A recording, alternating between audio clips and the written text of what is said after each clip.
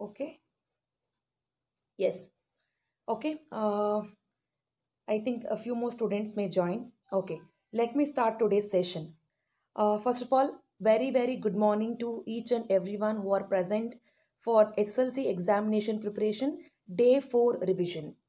So ಇವತ್ತು ನಾನು ತುಂಬಾ ಇಂಪಾರ್ಟೆಂಟ್ ಆದ ಕಾನ್ಸೆಪ್ಟನ್ನು ಎಕ್ಸ್ಪ್ಲೇನ್ ಮಾಡ್ತಾ ಇದ್ದೀನಿ ಟು ಬಿ ಫ್ಯಾಕ್ಟ್ ಒಂದು ಕ್ಲಾಸಲ್ಲಿ ಈ ಒಂದು ಲೆಸನನ್ನು ಎಕ್ಸ್ಪ್ಲೇನ್ ಮಾಡೋದು it's very difficult Because myself I have posted I think more than nine to ten videos for this particular lesson ಈ ಒಂದೇ ಲೆಸನ್ಗೆ ತುಂಬ ವೀಡಿಯೋಸನ್ನು ನಾನು ಪೋಸ್ಟ್ ಮಾಡಿದ್ದೀನಿ and I have explain in detail about each and every concept of heredity and evolution so heredity and evolution ಅಂದರೆ ಈ ಒಂದು particular ಲೆಸನಲ್ಲಿ you will be having lot of confusions okay so I have precised and I I I just wanted to Explain you each and every point ಎಲ್ಲ ಪಾಯಿಂಟ್ಸನ್ನು ಕೂಡ ಯಾವುದೆಲ್ಲ important ಇದೆ ಎಕ್ಸಾಮಿನೇಷನ್ಗೆ ಎಲ್ಲ ಪಾಯಿಂಟನ್ನು ಕೂಡ ಒಂದೇ ಸೆಷನಲ್ಲಿ ಇವತ್ತು ಹೆರಿಡಿಟಿ ಆ್ಯಂಡ್ ಎವಲ್ಯೂಷನ್ ಅನ್ನೋ ಒಂದು ಲೆಸನನ್ನು ಒಂದೇ ಸೆಷನಲ್ಲಿ I am going to explain you today okay So this lesson is going to be very interesting and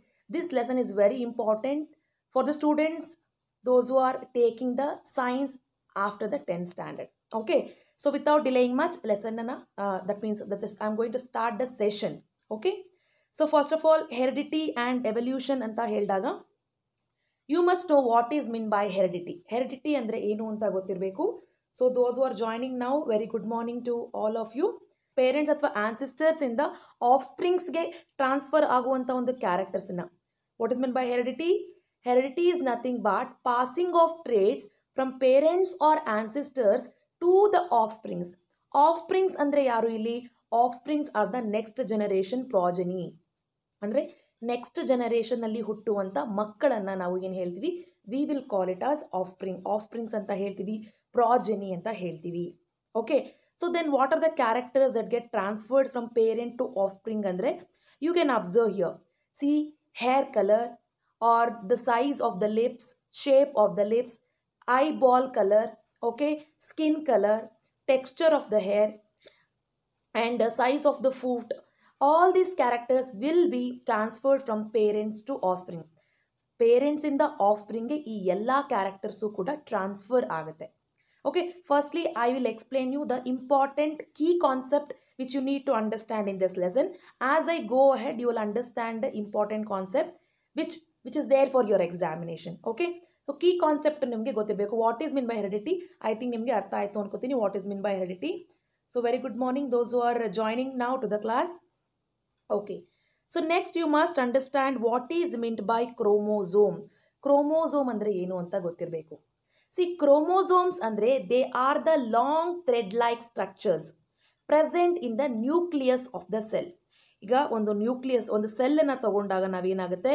ಈ ಸೆಲ್ ಈ ಸೆಲ್ ಒಳಗಡೆ there will be nucleus at the centre so ಈ ನ್ಯೂಕ್ಲಿಯಸ್ನ ಒಳಗಡೆ ಏನಾಗಿರುತ್ತೆ? There is presence of thread like structures these thread like structures it is called as chromosomes so ಇದು ನ್ಯೂ ಇದೇನನ್ನ ಕ್ಯಾರಿ ಮಾಡುತ್ತೆ? They contain heredity information of the cells in the form of genes ಜೀನ್ಸ್ನ ಫಾರ್ಮಲ್ಲಿ ಏನಾಗುತ್ತೆ? ಹೆರಿಡಿಟಿ ಇನ್ಫಾರ್ಮೇಷನನ್ನು ಈ ಒಂದು chromosomes carry ಮಾಡುತ್ತೆ. ಈ ಥ್ರೆಡ್ ಲೈಕ್ ಸ್ಟ್ರಕ್ಚರ್ಸ್ ಏನು ಮಾಡುತ್ತೆ? ಕ್ಯಾರಿ ಮಾಡುತ್ತೆ. Okay so this is what you have to understand when I say about the chromosome chromosomes ಅಂದರೆ ಏನು? They are the long thread like structures present in the nucleus of the cell and they contain the heredity information of the cell in the form of genes ಜೀನ್ಸ್ನ ಫಾರ್ಮಲ್ಲಿ ಅದು contain ಮಾಡ್ಕೊಂಡಿರುತ್ತೆ. Next ಬಂದು D N A D N A ಅಂದರೆ ಏನು ಅಂತ ಗೊತ್ತಿರಬೇಕು? What is mean by D N A D N A ಅಂದರೆ deoxyribonucleic acid ಅಂತ ಹೇಳ್ತೀವಿ. Okay so this D N A is a chemical in the chromosome which carries the traits in the coded form so traits ಅಂದರೆ ಏನು ಅಂತ ಗೊತ್ತಿರಬೇಕು? What is mean by traits ಈ traits word ನಿಮಗೆ ಗೊತ್ತಿರಬೇಕು. What is mean by traits traits ಅಂದರೆ characters ಯಾವ characters ನಿಮ್ಮ ಪೇರೆಂಟ್ಸಿಂದ ನಿಮಗೆ ಟ್ರಾನ್ಸ್ಫರ್ ಆಗುವಂಥ ಒಂದು ಕ್ಯಾರೆಕ್ಟರ್ಸನ್ನು we will call it as traits traits ಅಂತ ಕರಿತೀವಿ. ಸೊ ಡಿ ಎನ್ ಎ ಏನು ಮಾಡುತ್ತೆ? It's a K it is a chemical D N A ಅನ್ನೋದು ಒಂದು chemical okay where it is present in the chromosome ಕ್ರೋಮೋಸೋಮ್ನ ಒಳಗಡೆ present ಆಗಿರುವಂಥ ಒಂದು chemical ಬಂದು ಡಿ ಎನ್ ಎ ಆಗಿದೆ. ಈ ಡಿ ಎನ್ ಎ ಏನು ಮಾಡುತ್ತೆ? This D N A it will carry the traits ಅಂದರೆ ನಿಮ್ಮ ಪೇರೆಂಟಲ್ಲಿ ಈಗ ಬ್ರೌನ್ ಕಲರ್ ಹೇರ್ ಇದ್ದರೆ ನಿಮಗೆ ಬ್ರೌನ್ ಕಲರ್ ಹೇರ್ ಬರಬೇಕಾ? ಅಥವಾ ನಿಮ್ಮ ಪ್ಯಾರೆಂಟಲ್ಲಿ ಬ್ಲೂ ಕಲರ್ ಐಬಾಲ್ ಇದ್ದರೆ ಅದು ನಿಮಗೆ ಟ್ರಾನ್ಸ್ಫರ್ ಆಗಬೇಕಾ? ಈ ಒಂದು ಟ್ರೇಟನ್ನು ಕೋಡ್ ಮಾಡುತ್ತೆ D N A okay yes so next word ಬಂದು you must understand about a gene gene ಅಂದರೆ ಏನು? See gene is a part of chromosome ಈ ಜೀನ್ ಏನು ಮಾಡುತ್ತೆ ಅಂದರೆ it will controls a specific biological function for example ಈಗ ನಾನು ಎಕ್ಸಾಂಪಲ್ನ ತಗೊಂಡ್ರೆ ಈಗ ಫಾದರ್ ಆ್ಯಂಡ್ ಮದರ್ ಫಾದರಲ್ಲಿ ಓಕೆ ಬ್ಲ್ಯಾಕ್ ಕಲರ್ ಐಬಾಲ್ನ ಕೋಡ್ ಮಾಡುವಂಥ ಒಂದು ಜೀನ್ ಇದ್ದು ಮದರ್ನಲ್ಲಿ ಬ್ರೌನ್ ಕಲರ್ ಕೋಡ್ ಮಾಡುವಂಥ ಒಂದು ಜೀನ್ ಇದ್ದರೆ ಐ ಕಲರ್ನ ಕೋಡ್ ಮಾಡುವಂಥ ಒಂದು ಜೀನ್ ಇದ್ದರೆ ಈ ಎರಡೂ ಕಾಂಟ್ರಾಸ್ಟಿಂಗ್ ಕ್ಯಾರೆಕ್ಟರ್ಸ್ ಕಾಂಟ್ರಾಸ್ಟಿಂಗ್ ಯಾಕೆ? ಇದು ಬ್ಲ್ಯಾಕ್ ಆ್ಯಂಡ್ ಬ್ರೌನ್ ಎರಡೂ ಕೂಡ ಐ ಬಾಲ್ ಕಲರೇ. ಬ್ಲ್ಯಾಕ್ ಅನ್ನೋದು ಒಂದು ಕಲರ್ ಆಗಿದೆ, ಬ್ರೌನ್ ಅನ್ನೋದು ಒಂದು ಕಲರ್ ಆಗಿದೆ. ಸೊ ಇದೆರಡೂ ಕೂಡ ಕಾಂಟ್ರಾಸ್ಟಿಂಗ್ ಕ್ಯಾರೆಕ್ಟರ್ ಅಂತ ಹೇಳ್ತೀವಿ. ಸೊ ಈ ಕಾಂಟ್ರಾಸ್ಟಿಂಗ್ ಕ್ಯಾರೆಕ್ಟರ್ ಏನಾಗುತ್ತೆ? So it is a part of the chromosome ಈ ಜೀನ್ ಇದು ಏನಾಗುತ್ತೆ? It's a part of chromosome ಇದೇನು ಮಾಡುತ್ತೆ? It will controls the biological function ಈಗ ಫಾದರಿಂದ ಬರುವಂಥ ಒಂದು ಜೀನ್ ಮದರಿಂದ ಬರುವಂಥ ಒಂದು ಜೀನ್ ಏನಾಗುತ್ತೆ? ಫ್ಯೂಸ್ ಆಗುತ್ತೆ. ಫ್ಯೂಸ್ ಆದಾಗ ನಿಮ್ಮ ಒಂದು ಬಾಡಿನಲ್ಲಿ ಅಂದರೆ ಆಫ್ಸ್ಪ್ರಿಂಗ್ನ ಬಾಡಿನಲ್ಲಿ ಅಥವಾ ಪ್ರೋಜನಿ ಅಂತ ಏನು ಹೇಳ್ತಾ ಇದ್ದೀನಿ ಈ ಪ್ರೋಜನಿನ ಬಾಡಿನಲ್ಲಿ ಯಾವ ಕಲರ್ ಐ ಬಾಲ್ ಇರಬೇಕು ಅಂತ ಈ ಜೀನ್ ಡಿಸೈಡ್ ಮಾಡುತ್ತೆ. ಓಕೆ ಸೊ ಅದನ್ನು ನಾವು ಏನಂತ ಹೇಳ್ತೀವಿ ಅಂತ? And as I go further I will tell you okay ನಿಮಗೆ ಜೀನ್ ಅಂದರೆ ಏನು ಅಂತ ಗೊತ್ತಾಯಿತು ಅನ್ಕೋತೀನಿ ಡಿ ಎನ್ ಎ ಅಂದರೆ ಏನು ಅಂತ ಗೊತ್ತಾಯಿತು ಅನ್ಕೋತೀನಿ ಆ್ಯಂಡ್ ಕ್ರೋಮೋಸೋಮ್ ಅಂದರೆ ಏನು ಅಂತ ಗೊತ್ತಾಯಿತು ಅಂತ ನಾನು ಅನ್ಕೋತೀನಿ. ಐ ಹೋಪ್ ನಿಮಗೆ ಈ ಕಾನ್ಸೆಪ್ಟ್ ಎಲ್ಲ ಕ್ಲಾರಿಫೈ ಆಯಿತು. ಈ ಕಾನ್ಸೆಪ್ಟ್ ಕ್ಲಾರಿಫೈ ಆದರೆ ಎಸ್ ಅಂತ ಕಾಮೆಂಟ್ ಬಾಕ್ಸ್ನಲ್ಲಿ ಡ್ರಾಪ್ ಮಾಡಿ. ಎಸ್ ಸೊ ನೆಕ್ಸ್ಟ್ ಬಂದು Mendel is known as father of genetics so gene ಅಂತ ಹೇಳಿದಾಗ you must know who is the father of the genetics so ಈ ಜೀನ್ ಕಂಪ್ಲೀಟ್ ಏನು ಎಕ್ಸ್ಕ್ಯೂಸ್ ಮೀ ಈ ಕಂಪ್ಲೀಟ್ ಜೆನೆಟಿಕ್ಸ್ನ ಜೆನೆಟಿಕ್ಸ್ನ ಬಗ್ಗೆ ಸ್ಟಡಿ ಮಾಡಿರುವಂಥ ಒಬ್ಬ ಪರ್ಸನ್ ಯಾರು ಅಂದರೆ he is none other than Mendel okay so Mendel genetics father of genetics ಅಂತ ಫಾದರ್ ಆಫ್ ಜೆನೆಟಿಕ್ಸ್ ಅಂತ ನಾವು ಹೇಳ್ತೀವಿ. ಸೊ ಫಾದರ್ ಇವ್ರು ಏನು ಮಾಡಿದ್ರು ಅಂತಂದರೆ, ಈ ಮೆಂಡಲ್ ಸ್ಟಾರ್ಟಿಂಗ್ ಕೆಲವೊಂದು ಎಕ್ಸ್ಪರಿಮೆಂಟ್ಸನ್ನು ಮಾಡಿದ್ರು.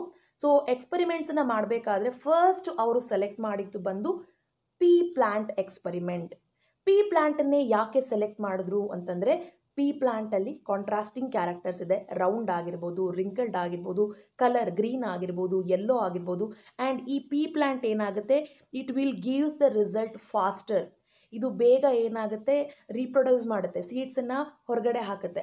ಸೊ ಈ ಒಂದು ಪ್ರಾಸೆಸ್ ಫಾಸ್ಟ್ ಆಗಿರೋದ್ರಿಂದ compare to other organisms so Mendel has selected the pea plant for his first experiment okay so let us understand the first Mendel's pea plant experiment ಮೆಂಡಲ್ಸ್ನ pea plant ಎಕ್ಸ್ಪೆರಿಮೆಂಟನ್ನು ನೋಡಿ.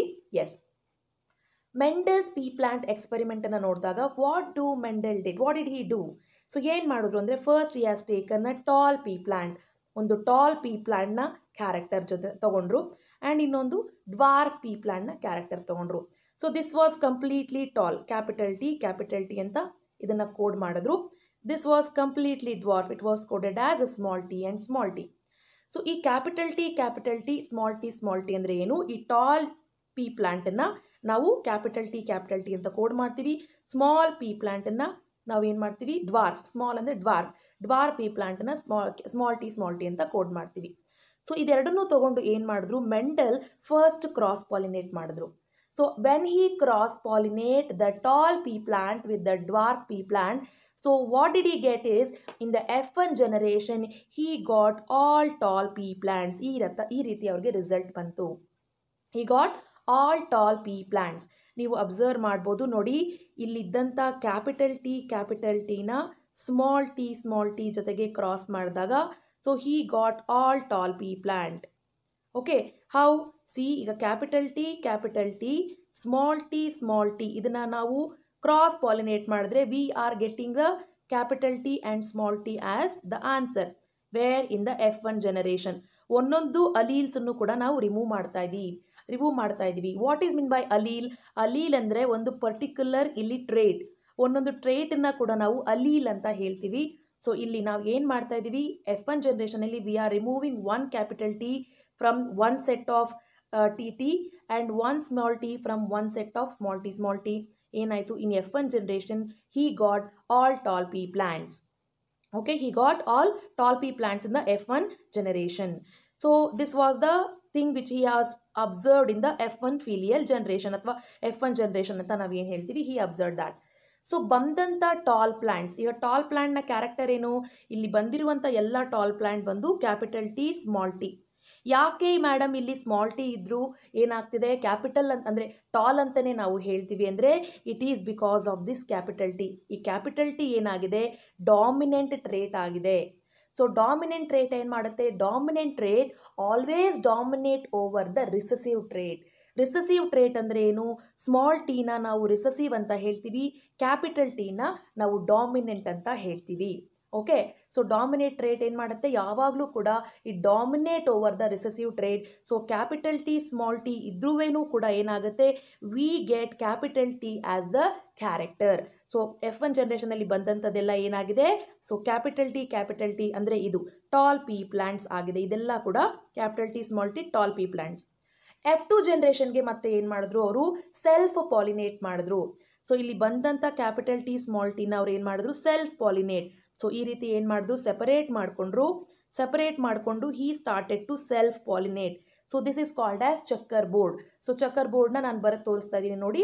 To self pollinate the alleles which we got in the F one generation F one ಜನ್ರೇಷನಲ್ಲಿ ಬಂದಂಥ ಈ capital T small ಟೀನ ನಾನು ಏನು ಮಾಡ್ತಾ ಇದ್ದೀನಿ F two ಜನರೇಷನ್ಗೆ ಇಲ್ಲಿ ಸೆಲ್ಫ್ ಪಾಲಿನೇಟ್ ಮಾಡ್ತಾ ಇದ್ದೀನಿ ನೋಡಿ on self pollinating we get capital T capital T and capital T small T here also capital T small T and small T small T ಈ ರೀತಿ ನಮಗೆ ಬರುತ್ತೆ ಆನ್ ಸೆಲ್ಫ್ ಪಾಲಿನೇಷನ್ ಸೊ ನಮಗೆ ಬಂದಂಥ result ಏನು?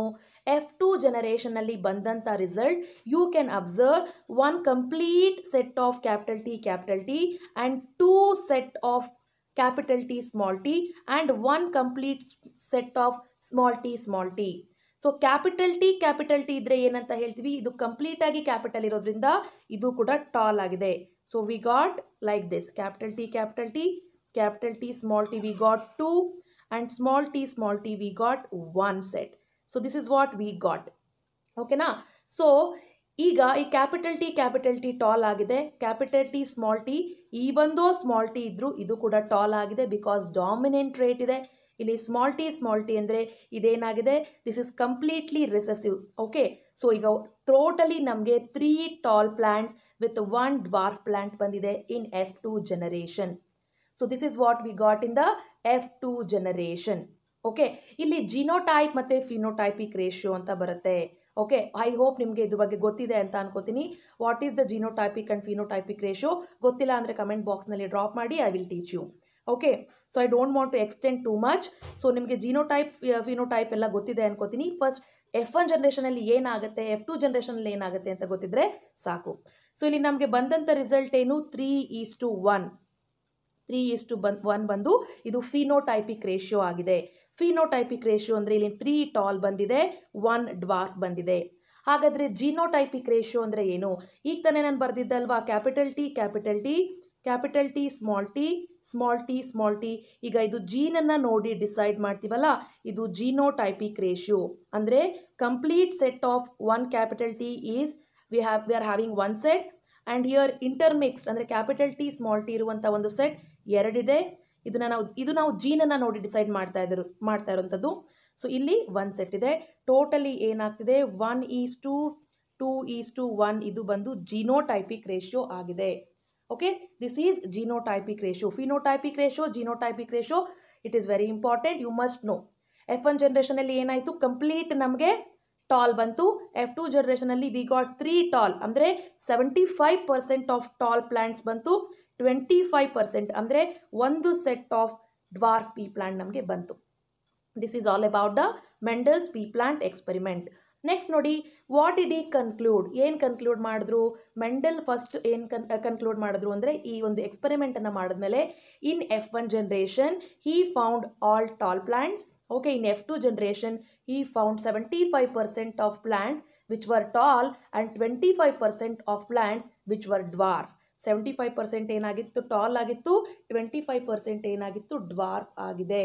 ಐ ಹೋಪ್ ನಿಮ್ಗೆಲ್ರಿಗೂ ಅರ್ಥ ಆಗ್ತಿದೆ ದಿಸ್ ಕಾನ್ಸೆಪ್ಟ್ ಅರ್ಥ ಆಗ್ತಿದೆಯಾ? If you are able to understand please drop a comment in the comment drop write a comment in the comment sections yes yes ma'am we could follow so yes ಅಂತ type ಮಾಡಿ yes so next and most important concept ನಾನು ನಿಮಗೆ ಹೇಳ್ಕೊಡ್ತಾ ಇರೋದು dominant trait and recessive trait dominant trait ಅಂದರೆ ಏನು? Recessive trait ಅಂದರೆ ಏನು?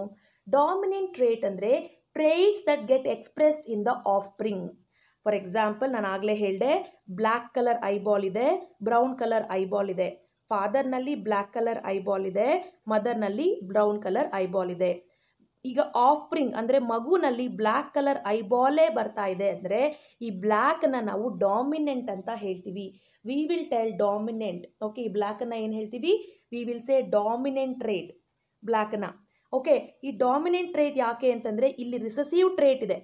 ಇಲ್ಲೊಂದು ಟ್ರೇಟ್ ಇದೆ ರಿಸೆಸಿವ್ ಅಂತಲೂ ಬೇಡ. ಇಲ್ಲೊಂದು ಟ್ರೇಟ್ ಇದೆ, ಈ ಟ್ರೇಟನ್ನು ಏನಾಗ್ತಿದೆ? ಆಫ್ ಸ್ಪ್ರಿಂಗ್ನಲ್ಲಿ ಎಕ್ಸ್ಪ್ರೆಸ್ ಮಾಡೋಕ್ಕೆ ಬಿಡ್ತಾ ಇಲ್ಲ. ಅದರಿಂದ ನಾವೇನು ಮಾಡ್ತಾ ಇದ್ದೀವಿ? ಫಾದರ್ಲಿರೋ ಫಾದರಲ್ಲಿರುವಂಥ ಒಂದು ಟ್ರೇಟನ್ನು ಡಾಮಿನೆಂಟ್ ಟ್ರೇಟ್ ಅಂತ ಕನ್ಸಿಡರ್ ಮಾಡ್ತಾ ಇದ್ದೀವಿ. So black colour eyeball and brown colour ಐಬಾಲನ್ನು ಏನು ಮಾಡ್ತಾ ಇದ್ದೀವಿ? ನಾವು ಎರಡನ್ನೂ ಕೂಡ ಒಟ್ಟಿಗೆ ತಗೊಂಡಾಗ black is the dominant trait so black dominant ಆಗಿರೋದಕ್ಕೆ ಏನಾಗುತ್ತೆ? The trait get expressed in the offspring ಅರ್ಥ ಆಗ್ತಿದೆಯಾ? Dominant trait is a trait that get expressed in the offspring ಮಗುವಿನಲ್ಲಿ ಯಾವುದು ಟ್ರೇಟ್ ಕಾಣಿಸುತ್ತೆ? ಅದೇ dominant trait okay so capital T small T so ನಾವು ಇಲ್ಲಿ ನೋಡಿದಾಗ ಏನಾಯಿತು? Capital T capital T small T small ಟಿನಲ್ಲಿ ನೋಡಿದಾಗ ನಮಗೆ ಕ್ರಾಸ್ ಆದಾಗ ಕ್ಯಾಪಿಟಲ್ ಟಿ ಸ್ಮಾಲ್ ಟಿ ಬಂತು. ನಾವು ಇದನ್ನು ಟಾಲ್ ಅಂತ ಹೇಳ್ತಾ ಇದ್ವಿ because capital T is a dominant trait that is what I gave in this plant also so with with with example next ಬಂದು ರಿಸಸಿವ್ ಟ್ರೇಟ್ ನೆಕ್ಸ್ಟ್ ಬಂದು recessive trait ಇದೆ ನಿಮಗೆ. So what is mean by recessive trait yes ನೋಡಿ recessive trait ಅಂದರೆ trait that get hidden dominated by the dominant trait ಅಂದರೆ for example ಈಗ ನಾನು ಏನು ಹೇಳಿದೆ? Capital T capital T small T small ಟಿನ ತೊಗೊಂಡ್ವಿ ಅಲ್ವಾ? ಸೊ ಇದನ್ನು ಕ್ರಾಸ್ ಮಾಡಿದಾಗ ನಮಗೆ ಕ್ಯಾಪಿಟಲ್ ಟಿ ಸ್ಮಾಲ್ ಟಿ ಬಂತು. ಇಲ್ಲಿರುವಂಥ ಕ್ಯಾಪಿಟಲ್ ಟಿ ನಾನು ಡಾಮಿನೆಂಟ್ ಅಂತ ಹೇಳಿದೆ. ಹಾಗಾದರೆ ಈ ಸ್ಮಾಲ್ ಟಿ ಏನು? ಈ ಸ್ಮಾಲ್ ಟಿನ ನಾವು ರಿಸಸಿವ್ ಟ್ರೇಟ್ ಅಂತ ಕರಿತೀವಿ. We will call it as recessive trait ಯಾಕೆ ಅಂದರೆ this trait is getting hidden dominate trait ಮುಂದೆ ಏನಾಗ್ತಾ ಇದೆ? ಇದು ಹಿಡನ್ ಆಗಿದೆ. ಡಾಮಿನೇಟ್ ಟ್ರೇಟ್ ಮುಂದೆ ಇದು ಡಾಮಿನೇಟ್ ಆಗಿದೆ. ಅದರಿಂದ ಇದು ರಿಸಸಿವ್ ಟ್ರೇಟ್ ಫಾರ್ ಎಕ್ಸಾಂಪಲ್ ಈಗ black colour eyeball brown colour ಐಬಾಲ್ನ ತಗೊಂಡಾಗ ಎಕ್ಸ್ಪ್ರೆಸ್ ಆಗಿರುವಂಥದ್ದು black colour eyeball. So, brown colour eyeball ಇದ್ರೂ ಕೂಡ ಇದು ಎಕ್ಸ್ಪ್ರೆಸ್ ಆಗ್ತಾ ಇಲ್ಲ ಆಫ್ ಸ್ಪ್ರಿಂಗ್ನಲ್ಲಿ ಅದಕ್ಕೆ ಏನು, ಇದು ಏನಾಗ್ತಾ ಇದೆ, ಹಿಡನ್ ಆಗಿದೆ. ಈ ಕ್ಯಾರೆಕ್ಟರ್ ಏನಾಗಿದೆ, ಹಿಡನ್ ಆಗಿದೆ. ಇದು ಏನಾಗಿದೆ, ಡಾಮಿನೇಟ್ ಆಗಿದೆ by dominant trait so, this is all about dominant trait and recessive trait ಯಾವ ಟ್ರೇಟ್ ಎಕ್ಸ್ಪ್ರೆಸ್ ಆಗುತ್ತೆ, ಅದು ಡಾಮಿನೆಂಟ್, ಯಾವ ಸ್ಪ್ರೆ ಟ್ರೇಟ್ ರಿಸ್, ಹಿಡನ್ ಆಗಿರುತ್ತೆ, ಅದು ರಿಸೆಸಿವ್. ಈಗ ನೋಡಿ ಇಲ್ಲೊಂದು ಎಕ್ಸಾಂಪಲ್ ಇದೆ. ನಿಮಗೆ ಡಾಮಿನೆಂಟ್ ರೇಟ್ಗೆ ಫ್ರೀ ಇಯರ್ ಲೋಬ್ ಇದೆ. ಅಟ್ಯಾಚ್ಡ್ ಸಾರಿ ರಿಸೆಸಿವ್ ಟ್ರೇಡ್ಗೆ ಅಟ್ಯಾಚ್ಡ್ ಇಯರ್ ಲೋಬ್ ಇದೆ. ನೀವು ಮೋಸ್ಟ್ ಆಫ್ ದ ಪೀಪಲ್ನಲ್ಲಿ ಈ ರೀತಿಯ ಇಯರ್ ಲೋಬ್ನ ನೋಡಿರ್ತೀರಾ? ಅದು ಏನಂದರೆ free ear lobe free ear lobe ಯಾಕೆ ನೋಡ್ತೀರಾ ಅಂದರೆ ಅದು ಡಾಮಿನೆಂಟ್ ಟ್ರೇಟ್ ಆಗಿದೆ. ಯಾಕೆ ರಿಸೆಸಿವ್ ಇಯರ್ನ ಲೋಬ್ನ ನೀವು ಎಲ್ಲರನ್ನಲ್ಲೂ ನೋಡಲ್ಲ ಅಂದರೆ ಅದು ರಿಸೆಸಿವ್ ಟ್ರೇಟ್ ಆಗಿದೆ. ಫಾದರ್ ಆ್ಯಂಡ್ ಮದರ್ ಇಬ್ಬರಲ್ಲೂ ಕೂಡ ಈ ಒಂದು free ear sorry attached ear lobe ಇದ್ದರೆ ವಿ ಕ್ಯಾನ್ ಎಕ್ಸ್ಪೆಕ್ಟ್ ದ್ಯಾಟ್ ಆಫ್ಸ್ಪ್ರಿಂಗ್ನಲ್ಲಿ ಅಂದರೆ ಹುಟ್ಟುವಂಥ ಮಗುನಲ್ಲೂ ಕೂಡ ಅಟ್ಯಾಚ್ಡ್ ಇಯರ್ ಲೋಬ್ ಇರುತ್ತೆ. ಇಲ್ಲ ಅಂದರೆ ಸಾಮಾನ್ಯವಾಗಿ you can see the free ear lobe in most of the people okay ಇದೇ ರೀತಿ black colour and brown colour ಐಬಾಲನ್ನು ನೋಡೋದಾದರೆ ಏನಾಗುತ್ತೆ?